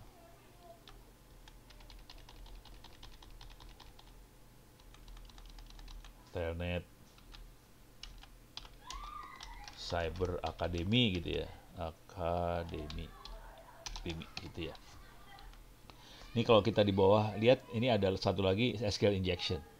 Oke, nanti saya demoin, saya kasih lihat gimana caranya dapat yang ini terutama nih. Dapatnya dari mana nih makhluk ini gitu ya.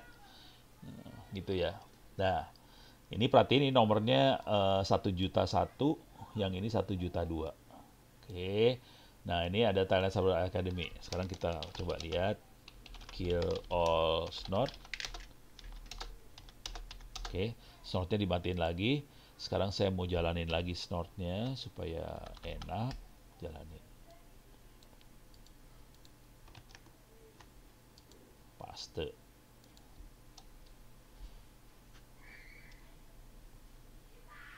Oke, okay.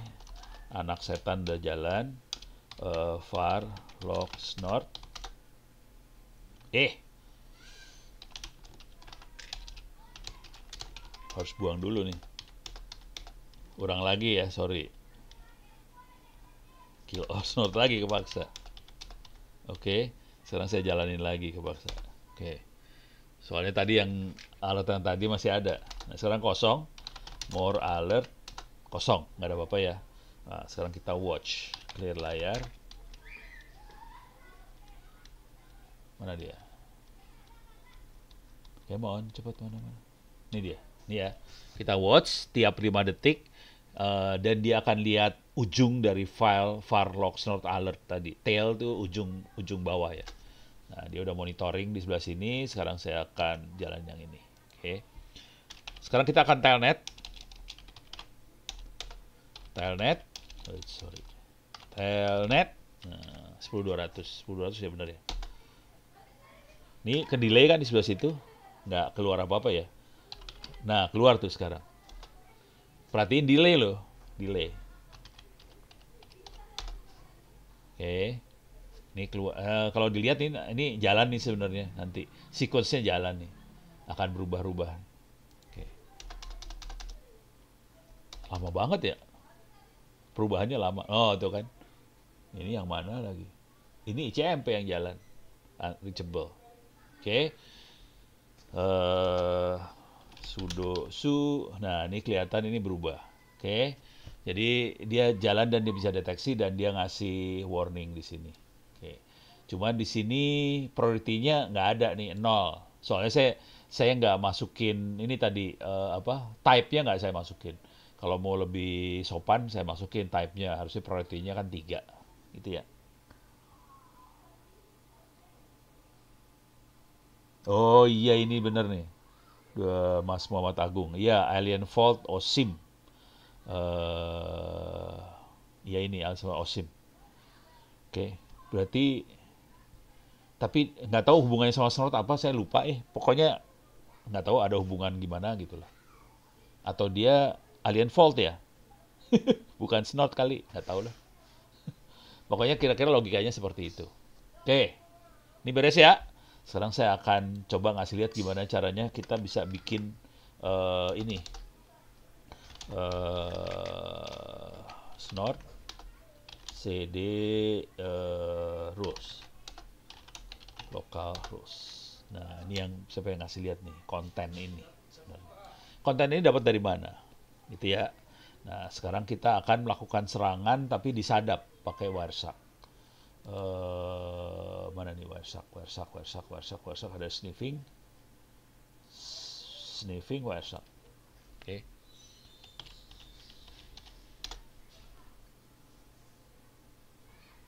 Oke, ini wiresharknya saya jalanin, saya nyadap. Capture, uh, start. Oke, okay ya bener harus pakai router ya. Kalau enggak parah banget kalau nggak pakai router. Tapi ini uh, ada ini ya nah, mikrotiknya yang ribut ribut mikrotik nih sekarang. Mikrotik ribut juga soalnya. Dia jalanin M MNDP lah CDP lah ada ada ada ada mikrotiknya ribut ada spanning tree apa ini ini urusan router sih jadi mikrotik juga ribut sih banyak paket yang dilempar. Oke, sekarang saya akan melakukan uh, serangan ke servernya 192.168.100.200 uh, DVW DVWA 1.9. Oke. Cuman sambil disadap ya. Nah, ini kita masuk DVWA, usernya admin, passwordnya password. Oke uh, don't save lah. Oke, sekarang kita akan melakukan uh, SQL injection. Oke, uh, kalau ini bukan SQL injection. Satu. Nah, sekarang SQL injection kan uh, persen or. Nah, kayak gini kan. Ini SQL injection nih udah mulai nih. Oke, ini SQL injection ya. Uh, terus kita cari contekan lah, cari contekan SQL injection kita cari contekan SQL injection ya. Uh, Oke. Okay. DVWA. Nah, di sini ada SQL injection. Uh, command injection, SQL injection. Nih, coba kita masuk yang rada-rada on. Uh, kita masuk yang parah-parah di sini ya. Nah, kita kan persen. Alah, kunaon ya teh. Nah, kita colong di sini ya, kita colong sampai sini. Nah, perintahnya perhatikan adalah persen uh, kutip spasi n spasi 1 sama dengan 0 union gitu ya. Nah, kita akan masukin di sini. Masukin. Nah, ini mulai masuk nih. Nah, sekarang bentuk bentuk uh, bentuk paketnya Oh, USIM bisa bekerja sama semuanya toh. Oke. Okay. Oh iya iya iya. Jadi intinya dia ngambil betul. Jadi si OSIM itu kayak dashboardnya Snort lah kira-kira. Tapi dia ternyata bisa ngambil dari semua ini ya, dari semua IDS ya, surikata lah, apa segala macam. Oh oke, okay. oke okay, keren. Tapi pakai duit itu Osim. Jadi itu pakai duit, yang kagak nahan duitnya dolar. Itu aja sih. Uh, oke, okay. gue sampai mana tadi? Nah kita udah masukin ini, sekarang kita urusan sadap penyadapnya sampai, sampai di mana? Oke, okay, ini kita stop dulu ya, capture stop. Nah, saya pengen ngeliat paket yang dikirim seperti apa. Nah, ini udah mulai kelihatan. Nah, ini ada ke port 100 200 pakai 80. Nah, ini ada Nah, ini dapat nih. Ini satu dapat. Ini masuk ke SQL injection, SQLi ya. Nah, cuma di sini, nah di sini yang seru nih. Perhatiin dia Oh, ini yang barusan saya kirim nih Nah, ini dia pakainya. Nah, ini seru nih. Persen 25 eh persen 27 plus N plus 1 persen 3D0 union plus select nah, segala macam. Nah, ini tadi paket yang gua kirim apa ya? gua lupa. Uh, sorry, sorry, sorry, sorry, sorry. Oke, okay. paket yang saya kirim ini kan. Oh, ini persen kutip jadi persen 25 tuh kutip tuh. Nih kalau kita lihat ya. Uh, sorry, persen 27 tuh kutip, persen 25 adalah persen. Jadi persen kutip, persen adalah persen 25. Jadi persen 25 adalah persen karakternya. Uh, persen 27 adalah kutip, plus itu spasi. Spasi itu jadi plus, n plus 1, 0. Di sini n plus, ini spasi lagi. Uh, 1 uh, persen 3D itu 0. Eh, bener nggak ya? Eh, eh, 3D sama dengan berarti ya. Oh, ini sama dengan. Persen 3D sama dengan. Spasi union. Nah, sekarang uh, kita masukin nih kayak ginian. Uh, kita harus berusaha supaya agak general. Kalau kita 1, 0 kita masukin, ini kan angka ini bisa berubah-ubah nih 1, 0-nya tapi ada union select null. Nah, union select null itu agak general nih. Kita ambil union select null. Jadi waktu union select null, dia kalimatnya adalah plus union plus select plus null. Gitu ya. Jadi kita akan masukin sekarang plus union plus select plus null. Jadi plus union plus select plus null sebagai konten. Oke. Jadi saya akan masukin ke sini. Eh, sorry salah. Ke sini. Oke. Sekarang saya akan cari bikin contekan kedua. Nah, di sini saya SQL i uh, apa ya? Uh, union. Nah, cuman di sini plus uh, apa tadi lupa gue uh, plus union plus select plus null oke okay. plus union plus select plus null Jadi kalau ada plus union plus select plus null, ngerendeng ada spasinya, ya, itu adalah SQLI union. Ini saya nambahin tiga. Oke, jadi saya tambahin. Sementara yang ini persen 25 uh, spasi or spasi itu dapatnya dari mana? Nah, ini kita dapatnya dari sini juga sih sebenarnya. Ntar kita lihat di atas. Jadi uh, ininya perintahnya get ya. Cari get lagi di atas. Ada get lagi nggak di atas? Ini dia get. Ini dia get lagi. Uh, oh ini bukan jQuery. Ini eh sama debug. Wah ini bukan. Oh, coba saya capture lagi aja lah daripada pusing kepala. Itu buat data saving. Sekarang saya akan uh, serang dari sebelah sini. Gini aja ya. Eh, salah. Di atas. Yang paling atas lah. Nah, ini. Oke. Ini kok nggak bisa gua klik? Ya, kenapa ini? Satu kutip spasi. Ah, ini aja ambil lah. Nih ya. Saya ngirim satu or uh, kutip satu kutip sama dengan kutip satu. Nah, di sini bentuknya adalah saya stop capture-nya stop dulu. Oke. Mana dia? Ini dia, ini dia, ini dia.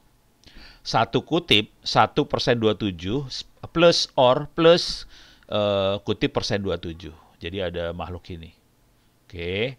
Jadi saya akan persen dua tujuh plus or plus persen dua tujuh. Oke. Saya akan bikin lagi di sini.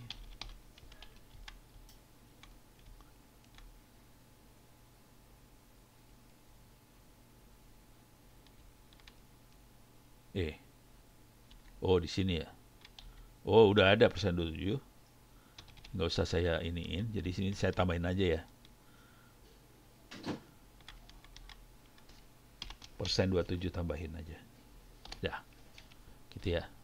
Uh, yang perlu diperhatiin adalah nomornya ya. 1 juta 1, 1 juta 2, 1 juta 3. Pastiin nomornya naik. Kalau enggak, jadi kacau dia, bingung ntar. Dia kejadian soalnya waktu itu saya lagi demo, saya lupa naikin nomor. Uh, eh, SKI nah ini saya kasih kode ya. Uh, di sini uh, kutip spasi or kutip. Jadi ini SQL injectionnya kutip spasi kutip gitu ya. Oke. Okay. uh, sebetulnya nanti harusnya bisa jadiin satu nih semua. Ini SQL injection gitu ya. Dah. sekarang kita jalanin ya. Kill all uh, snort Oke, nah sekarang saya akan jalanin lagi si snortnya.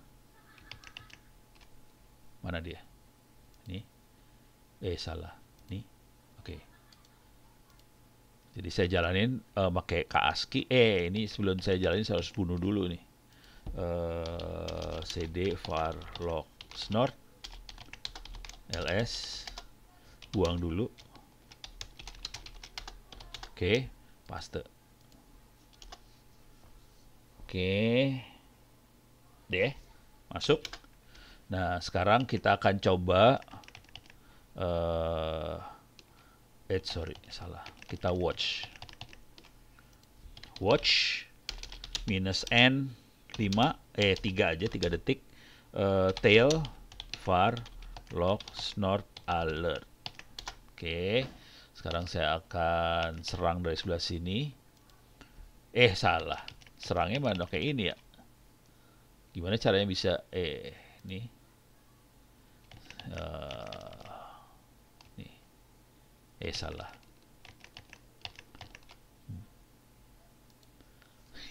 Susah ya. Gimana caranya? Ini gini aja ya. Ya biar kelihatan dua-duanya lah maksudnya.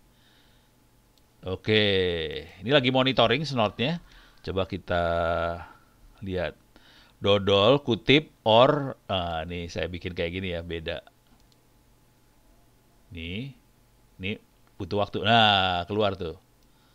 Uh, jadi waktu udah saya kirim, dia ngeliat dulu ke database, dari database dia bisa lihat, oh ada kutip SQL injector, kutip or kutip keluar. Di sini. Oke, sekarang kita uh, masukin lagi yang tadi ya, yang panjang. Nggak apal gue. Uh, tadi perintahnya yang mana sih? Yang panjang banget sih. Yang ini bukannya. Oh ini ada ada union select null ini ya. Oke, saya akan ambil ini biar ada union select null aja. Copy, masukin sini. Paste. Nih keluar. Eh, kutip or kutip. Kok kutip or kutip lagi? Emang ada ornya? Kagak ada ornya ngaco sih.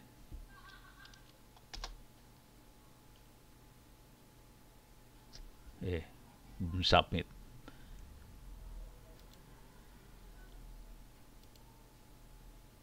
Kok nggak keluar? Nggak keluar. Ngaco. Tar tar tar lagi ulang. Coba cari yang lain tapi union select null emang ada ornya ya nggak ada nggak ada ornya nih Oke, copy lagi, masukin sana lagi. Paste. Oh, keluar nih. Union dapat. Jadi kira-kira kayak gitu caranya. Cuman yang kita jadi masalah adalah yang priority-nya ini. Karena kita belum masukin ini ya, uh, type tipe serangan. Sekarang kita akan coba masukin tipe serangannya. Supaya kita bisa uh, ngerubah priority-nya. Jadi ini mah udah mainan-mainan kayak gini-gini doang sih. Oke. Okay uh, CD uh, eh sorry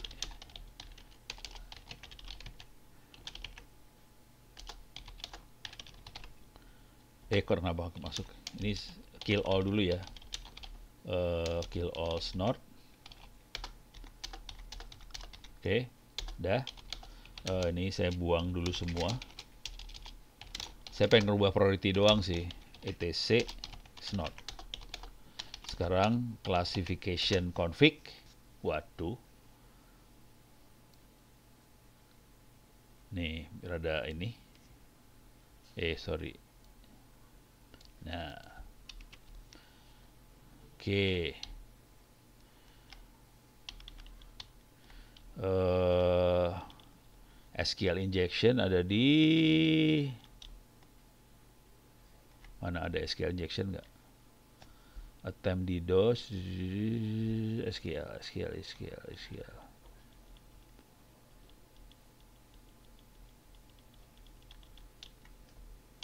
SQL oh nggak ada?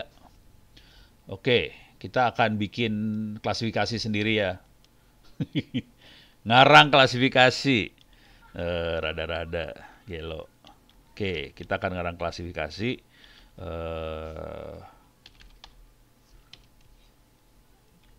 Oke.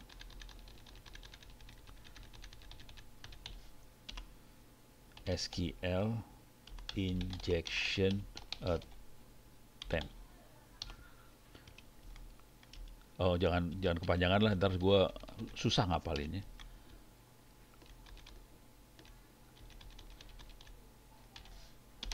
SQL injection attempt uh, priority-nya satu lah.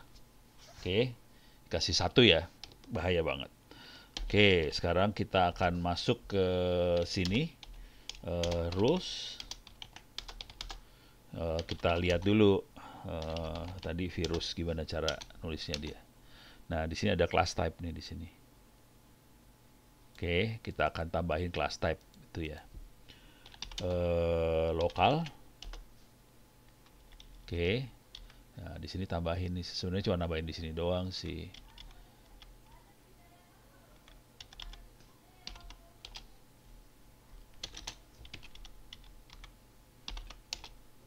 Paste. Oke. Oke, saya tambahin lagi di sebelah sini.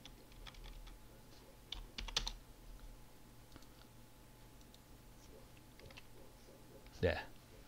Oh, oh, tapi ini suspicion ini masih harus kita ganti ya. Ini kita ganti jadi SQL injection. SQL injection. Ini juga sama, kita ganti SQL injection. Nah, yang seru buat Anda-Anda adalah ini harus dibikin manual sih sebenarnya sebagian. Kecuali kita beli produk yang udah tinggal pakai ya. Uh, jadi ada orang sana yang udah ngisiin semua kayak ginian. Tapi pada dasarnya harus ada manusia yang yang ngeset ini semua. Jadi class type-nya manusia ngeset, uh, message-nya apa manusia bisa ngeset. Jadi semua bisa diset manusia sih sebenarnya. Uh, sering kali kalau kita jadi admin atau apa, tahunya tahu beres aja, keluarnya dashboard. Padahal di balik dashboard ada kerjaan seperti ini yang harus dikerjain sih sebenarnya. Dan ini duit banget sih sebenarnya. Jadi uh, yang pengen saya kasih lihat ke anda-anda semua adalah ada kerjaan yang seperti ini harus dikerjain sih sebenarnya. Kalau kita sebagai cyber security analis sih cuman oke okay, udah ada belum? Udah ada belum? Ya ya ya ya gitu. Jadi cuman gitu doang. Pada kenyataannya nggak seperti itu sih. Jadi ada manusia nanti yang harus ngeset. Semua ini harus diset. Kalau nggak kalau nggak diset ya kacau kagak jalan oke okay? uh, eh, kill all snort oke okay, snort udah masuk ke varlock snort lagi Oke, ini saya kecilin lagi. 8. Malah parah ya. Oh. Nih. Oke. Clear layar. Saya harus jalanin. Oh. Coba lihat. Oke, kosong. PSAX grab snort. Eh, sorry. Snort Oke, kosong.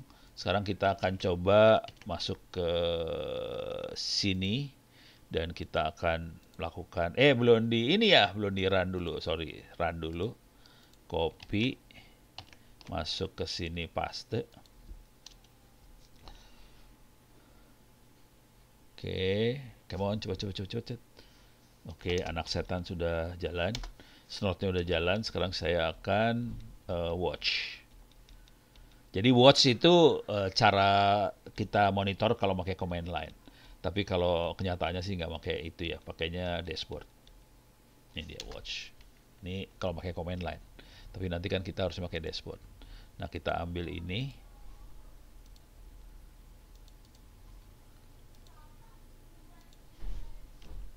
Percobaan. Bisa kagak?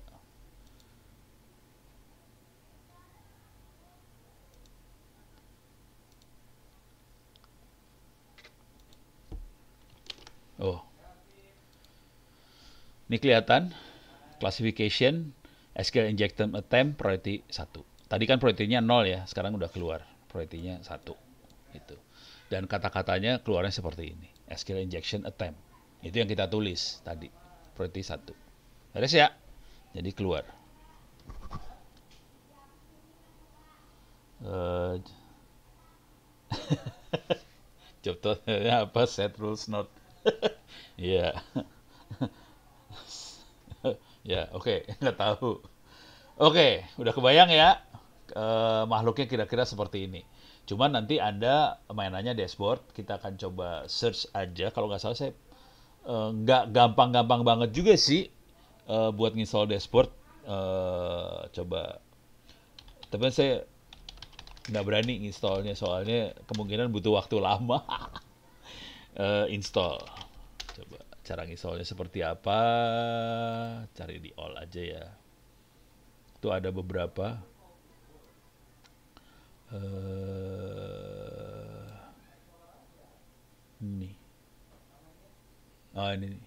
Oh ini ada. Ini kayaknya udah lebih gampang nih. Belum pernah saya lihat juga nih. Snot IPS dashboard. Pakai elastik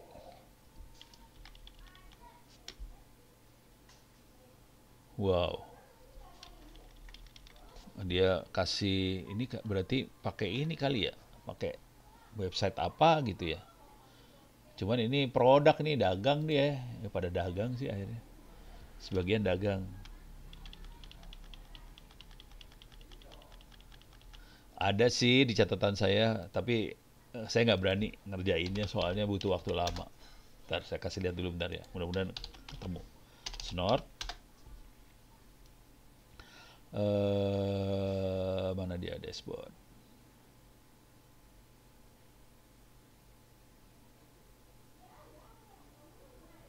Ini nih. Ini udah mainnya dashboard semua nih GUI. Ini dashboard dashboardnya sih. Eh ada beberapa dashboard.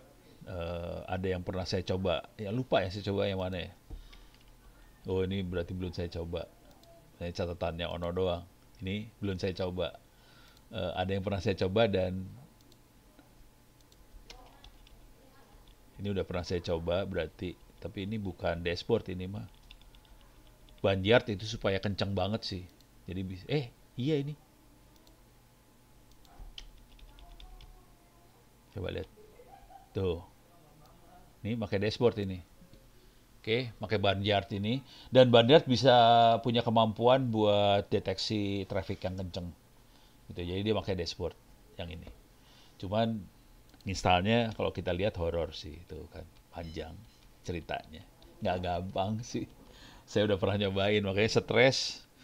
Ini pakai IP segini, nama servernya apa segala macam. Oke, jadi udah kebayang. Oke, sekarang saya punya waktu sekitar 11 menitan.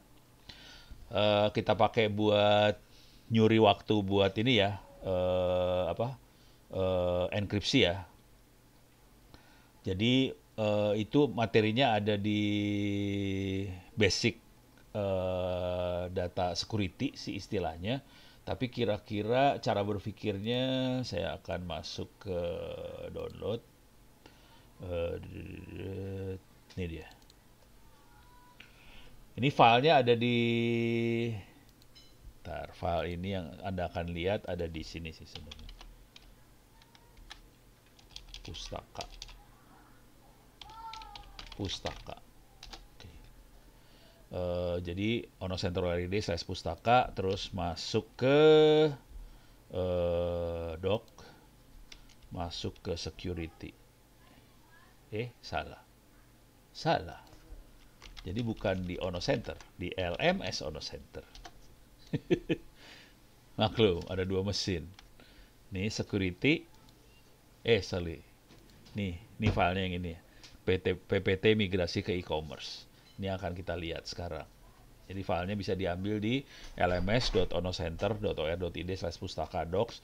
Ini ada PPT migrasi ke e-commerce. Saya akan, eh mana tadi teh? Oh ini dia, ini dia. Oke. Eh, ini cara bekerjanya si enkripsi ya. Ini, ini kisah zaman dulu kala sih. Ini tahun 2000-an ini dibuat. Slide ini dibikin tahun 2000-an. Jadi sekitar hampir 20 tahun yang lalu sih. Dan ini dibikin pada waktu itu lagi rame-ramenya tentang e-commerce segala macam dan salah satunya adalah security-nya. Yang bikin slide ini adalah Pak Arianto Mukti Aribowo almarhum udah meninggal. Eh, masih muda dia meninggalnya.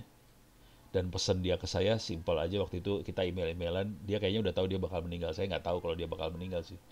Eh, pesannya cuma gini doang ini tolong ilmu saya disebarin. Gitu aja dia pesan ke gue. Tumben nih orang kayak gini kan gue mikir ada apa ya? Wih, nggak nggak lama dari situ dia meninggal jadi kalau kita lihat siapakah Arianto Mukti Aribibowo eh ini gambarnya, nisannya. Oke. Eh, dia adalah otak di belakang Undang-Undang ITE.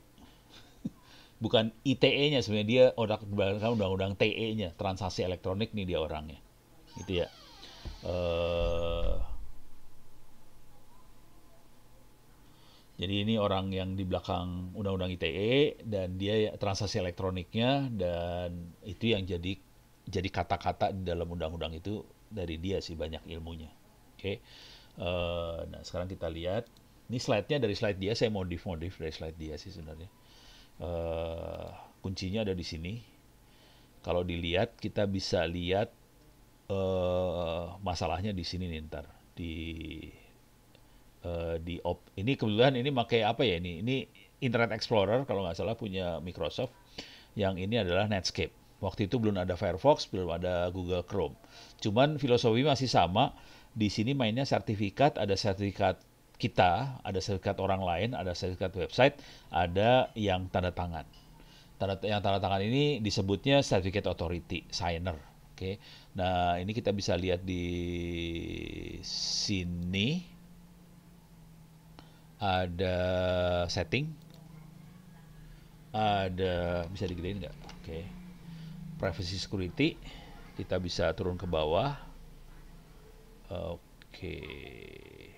mana dia ini dia security oke okay, turun lagi ke bawah lagi ada manage certificate. Ini dia kuncinya. Oke. Okay.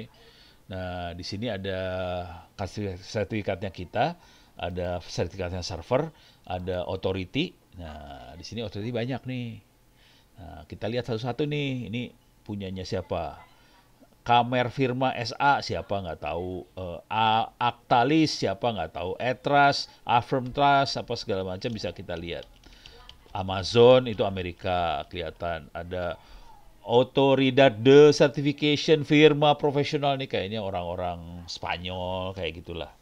Ada Bypass, ada Search Sign, ada China, ini Cina, Chunghua Cina, Komodo Inggris kalau nggak salah ya. Cybertrust ini GBHN biasanya ini nih uh, G, GmbH itu biasanya Jerman. Ada Digichurch segala macam, ada Digital Secret Trust segala macam. Uh, kita bisa lihat sertifikat-sertifikatnya. Oke. Okay uh, sampai bawah kita bisa lihat tapi nggak ada Indonesia Indonesia nggak ada asik nah yang seru adalah uh, ini otoritas ini yang ada di browser sebetulnya mereka yang akan menentukan kita bisa dipercaya apa enggak ini yang jadi masalah gitu ya jadi otoritas ini yang akan menentukan ini uh, detik.com bisa dipercaya apa enggak Eh, BCA bisa percaya apa kagak. Jadi yang pakai .com .com eh, apa pun lah, nggak usah .com .id juga bisa.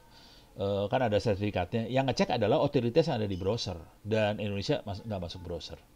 Nah itu seru tuh urusannya sih sebenarnya. Oke, udah kebayang ya. Uh, jadi ini ada ini kita lihat tadi barusan yang versi yang modernnya ini versi 20 tahun yang lalu. Kira-kira kayak gitu. Jadi 20 tahun lalu udah kepikir ke arah sana sih. Uh, isu keamanan ada empat, ada privacy, autentikasi, integritas, sama non-repudiation, kira-kira kayak gitu. Uh, kalau di dunia sekarang sering kali disebutnya CIA karena kesannya uh, eh, FBI banget ya. CIA misalnya ISO 27001. Apakah itu CIA? CIA adalah uh, confidentiality eh, uh, sini aja lah confidentiality, integrity, sama availability. Sementara waktu dulu kita ada empat. Privacy, autentikasi, integritas, non-repudiation. Yang CIA itu yang tiga yang atas ini nih sebenarnya ya. Non-repudiationnya jarang disebut. Padahal non-repudiation itu penting. Uh, karena non-repudiation adalah uh, kita bisa non-repudiation adalah sesuatu yang tidak bisa ditolak. Jadi kalau kita kita ngajuin sebagai barang bukti di pengadilan, nah barang bukti itu nggak bisa ditolak. Dan itu ya udah barang bukti beneran. Padahal bayangkan barang buktinya adalah soft copy. Dan soft copy itu harus bisa di, bawah pengadilan dan bisa jadi barang bukti. Nah pusing kepala dah urusannya. Ya, ini yang namanya privacy, konfidensial adalah transaksi itu rahasia dan tidak bisa dilihat sama orang lain kecuali yang dituju aja. Nih, jadi teknologi harus bisa menjaga konfidensial itu. Jadi kalau ada orang ngirim ke Pak Jokowi, hanya Pak Jokowi yang bisa lihat uh, sekretarisnya nggak bisa lihat, asistennya nggak ada yang bisa lihat, hanya Pak Jokowi yang bisa dilihat. Bisa nggak teknologi bisa menjamin seperti itu? Integrity kita bisa teknologi harus bisa deteksi bahwa sebetulnya angka yang benar bukan 10 juta loh, yang benar hanya 10 ribu. Jadi kalau ada orang di tengah jalan ngerubah angkanya, dia bisa deteksi. Itu uh, teknologinya harus bisa deteksi itu. Terus uh, dia juga bisa tahu ini yang ngirim ono bener nggak. Perhatiin ini presidennya masih Gus Dur waktu itu. Kalau sekarang presiden namanya Jokowi beda. Jadi 20 tahun yang lalu masih Gus Dur itu presidennya. Apa apa jadi kita uh, ininya slide-nya Gus Dur. Uh, apakah benar ini dari presiden at gusdur.com uh, kalau Pak Jokowi kan presiden at uh, apa sih presiden ri.go.id kalau sekarang ya jadi benar nggak itu dari Pak Jokowi dan yang terakhir tadi non repudiation jadi ini adalah isu di security ada empat tadi ya nah sekarang teknik enkripsi teknik enkripsi yang sering dipakai uh, pada zaman dulu kala adalah uh, kunci buat encrypt sama dengan kunci buat decrypt. Jadi kunci encrypt dan decryptnya sama. Jadi artinya apa? Kalau kita ngirim pesan ya, dari ujung ke ujung dan kita pengen encrypt, kunci encrypt dan decrypt sama dan konsekuensinya kita harus kirim pesan sama kunci-kuncinya. Nah, berabe itu urusannya. Atau kuncinya disebarin ke semua orang uh, yang mau berkomunikasi. Nah, salah satu yang keren adalah kisah yang seperti ini yang keren adalah kisahnya uh, kapal selamnya Jerman Perang Dunia II.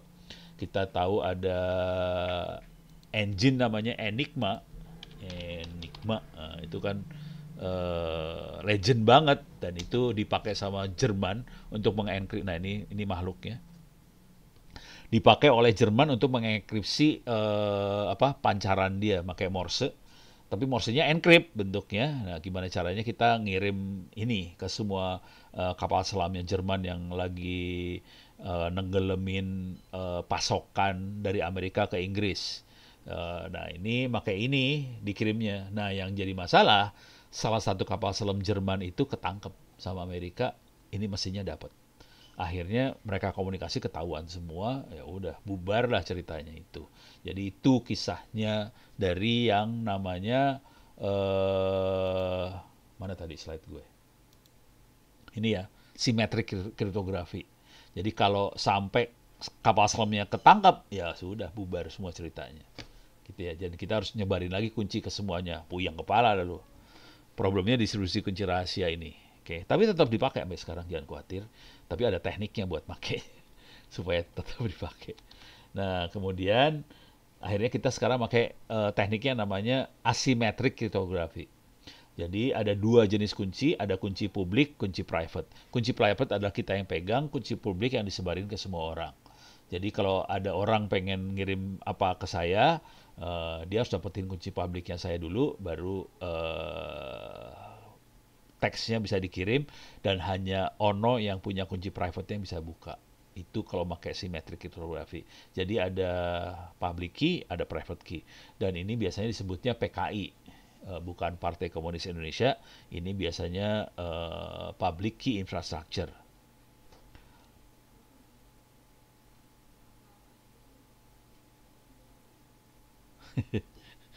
iya nih. Ini Mas Agung nih kayaknya ini banget ya. ikutin sejarah juga dia. Oke, ini beres ya, udah kebayang ya namanya PKI kira-kira seperti ini. Uh, dan ini yang banyak dipakai sampai sekarang. Oke, cuman yang berkembang ininya, panjang kuncinya berkembang. Kalau dulu mungkin panjangnya cuma 64 bit atau berapa, sekarang udah 2048, 4000 sekian panjang kuncinya. Jadi kuncinya makin panjang makin nggak bisa dihack, kira-kira kayak gitu. Uh, dan mainan public key cryptography ini ada kemungkinan yang uh, yang pemakaiannya kita bisa tanda tangan pesan, bisa membuat surat rahasia dalam amplop yang tidak bisa dibuka semua orang lain. Uh, ada sepasang kunci untuk setiap entitas atau orang, ada kunci publik yang bisa disebarin ke semua orang, ada kunci private kira-kira kayak gitu. Uh, kemudian juga ada server-server yang bisa nampung kunci publik tadi kalau mau pakai server. Kalau nggak mau pakai server juga nggak apa-apa sih. Jadi ada pilihan lah. Boleh ditaruh di server, bisa kita kasih aja ke orangnya, ini kunci publik saya ya, uh, tolong dipakai. Bisa kayak gitu. Bisa juga mainnya server. Uh, pengalaman saya sih lebih enak kalau orangnya nggak sampai jutaan ya. Kalau orangnya di antara kita-kita aja cuma 50 orang, mendingan gua kasih satu-satu daripada gua harus bikin server capek. Jadi kunci publik akhirnya uh, kalau komunitasnya kecil, kita cenderungnya akan ngasih setiap orang. Kalau kita banyak banget, kita biasanya taruh di server. Gitu, beres ya. Uh, coba kita cari, ada nggak public key server?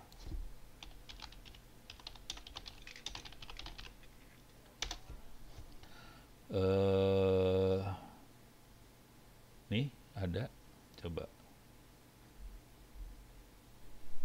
Oh namanya key server. Key server.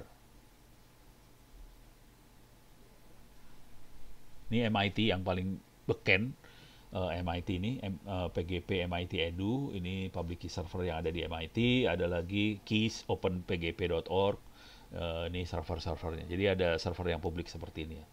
Free nih bisa dipakai. Ini Ubuntu juga punya public key server juga rupanya.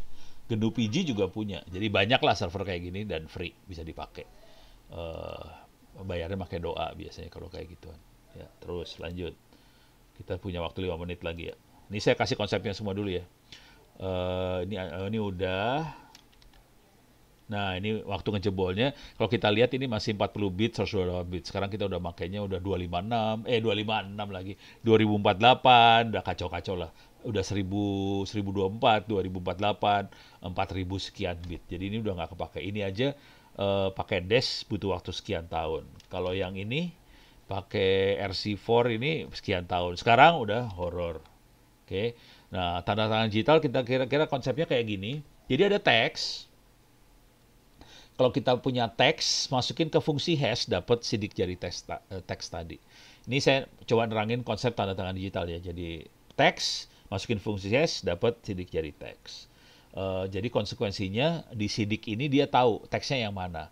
Konsekuensinya adalah kalau dirubah satu dua huruf di sini, sidiknya berubah. Jadi gampang ngecek ngecek uh, uh, integritas datanya gampang, tinggal masukin ke fungsi hash tadi, kita compare sidiknya. Sidiknya harus seperti apa kok jadi kayak gini. Nah, sidik ini harus dikirim.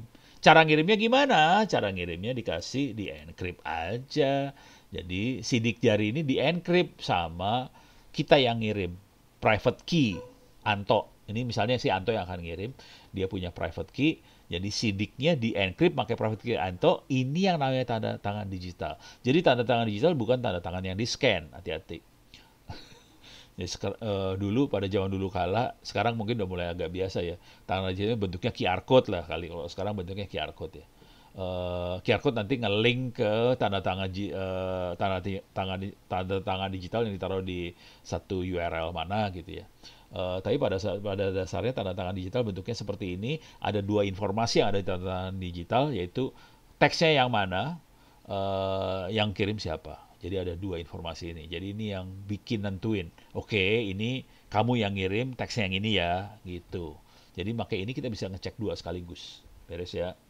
Nah, Uh, konsekuensi tanda tangan digital adalah dia otentik bisa dijadikan barang bukti di pengadilan hati-hati. Hanya sah untuk dokumen itu saja atau kopinya. Jadi kopinya tetap sah karena uh, apa fungsi hashnya apa sidik teksnya sama. Jadi nggak masalah. Dapat diperiksa dengan mudah oleh siapa pun karena kita punya public key-nya. Public key-nya bisa ngebuka uh, enkripsi tadi gitu ya. Jadi ini yang dipakai oleh kayak uh, apa sih namanya? Uh, paspor digital apa segala macam udah mulai main kayak gini-ginian sih. Oke. Okay.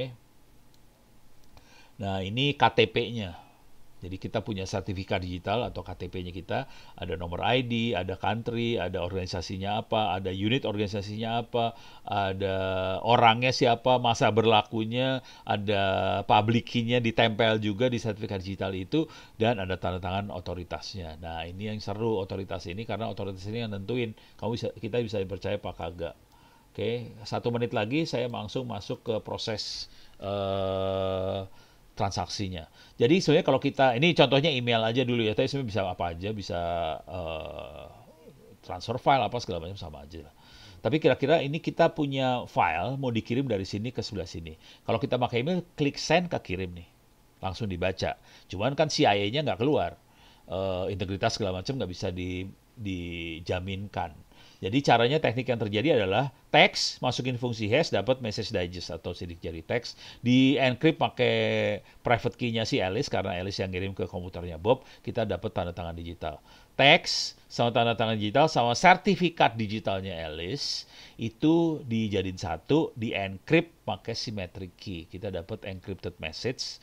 Uh, nah sekarang gimana caranya ngirim, ngirim symmetric key-nya supaya hanya sana Bob yang bisa baca? Symmetric key tadi di encrypt pakai public key-nya Bobs. Dapat uh, digital envelope. Ini dua-duanya nggak ada yang bisa baca orang.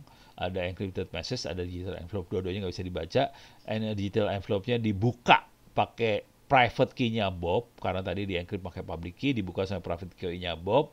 Dapat symmetric key-nya lagi. Symmetric key-nya dipakai untuk decrypt encrypted message-nya. Dapat kebuka uh, teks sama tanda tangan digital sama sertifikat digital. Nah, di sini kita teksnya bisa dibaca.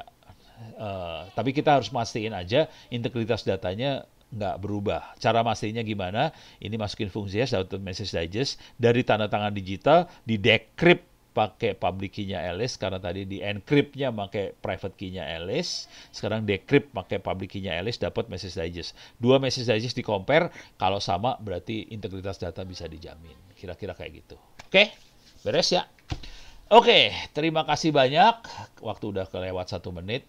Uh, kita lanjut minggu depan. Uh, saya kembalikan pada Mas Fikar. Silahkan. Recording stopped. Baik, Pak Honor, terima kasih Pak atas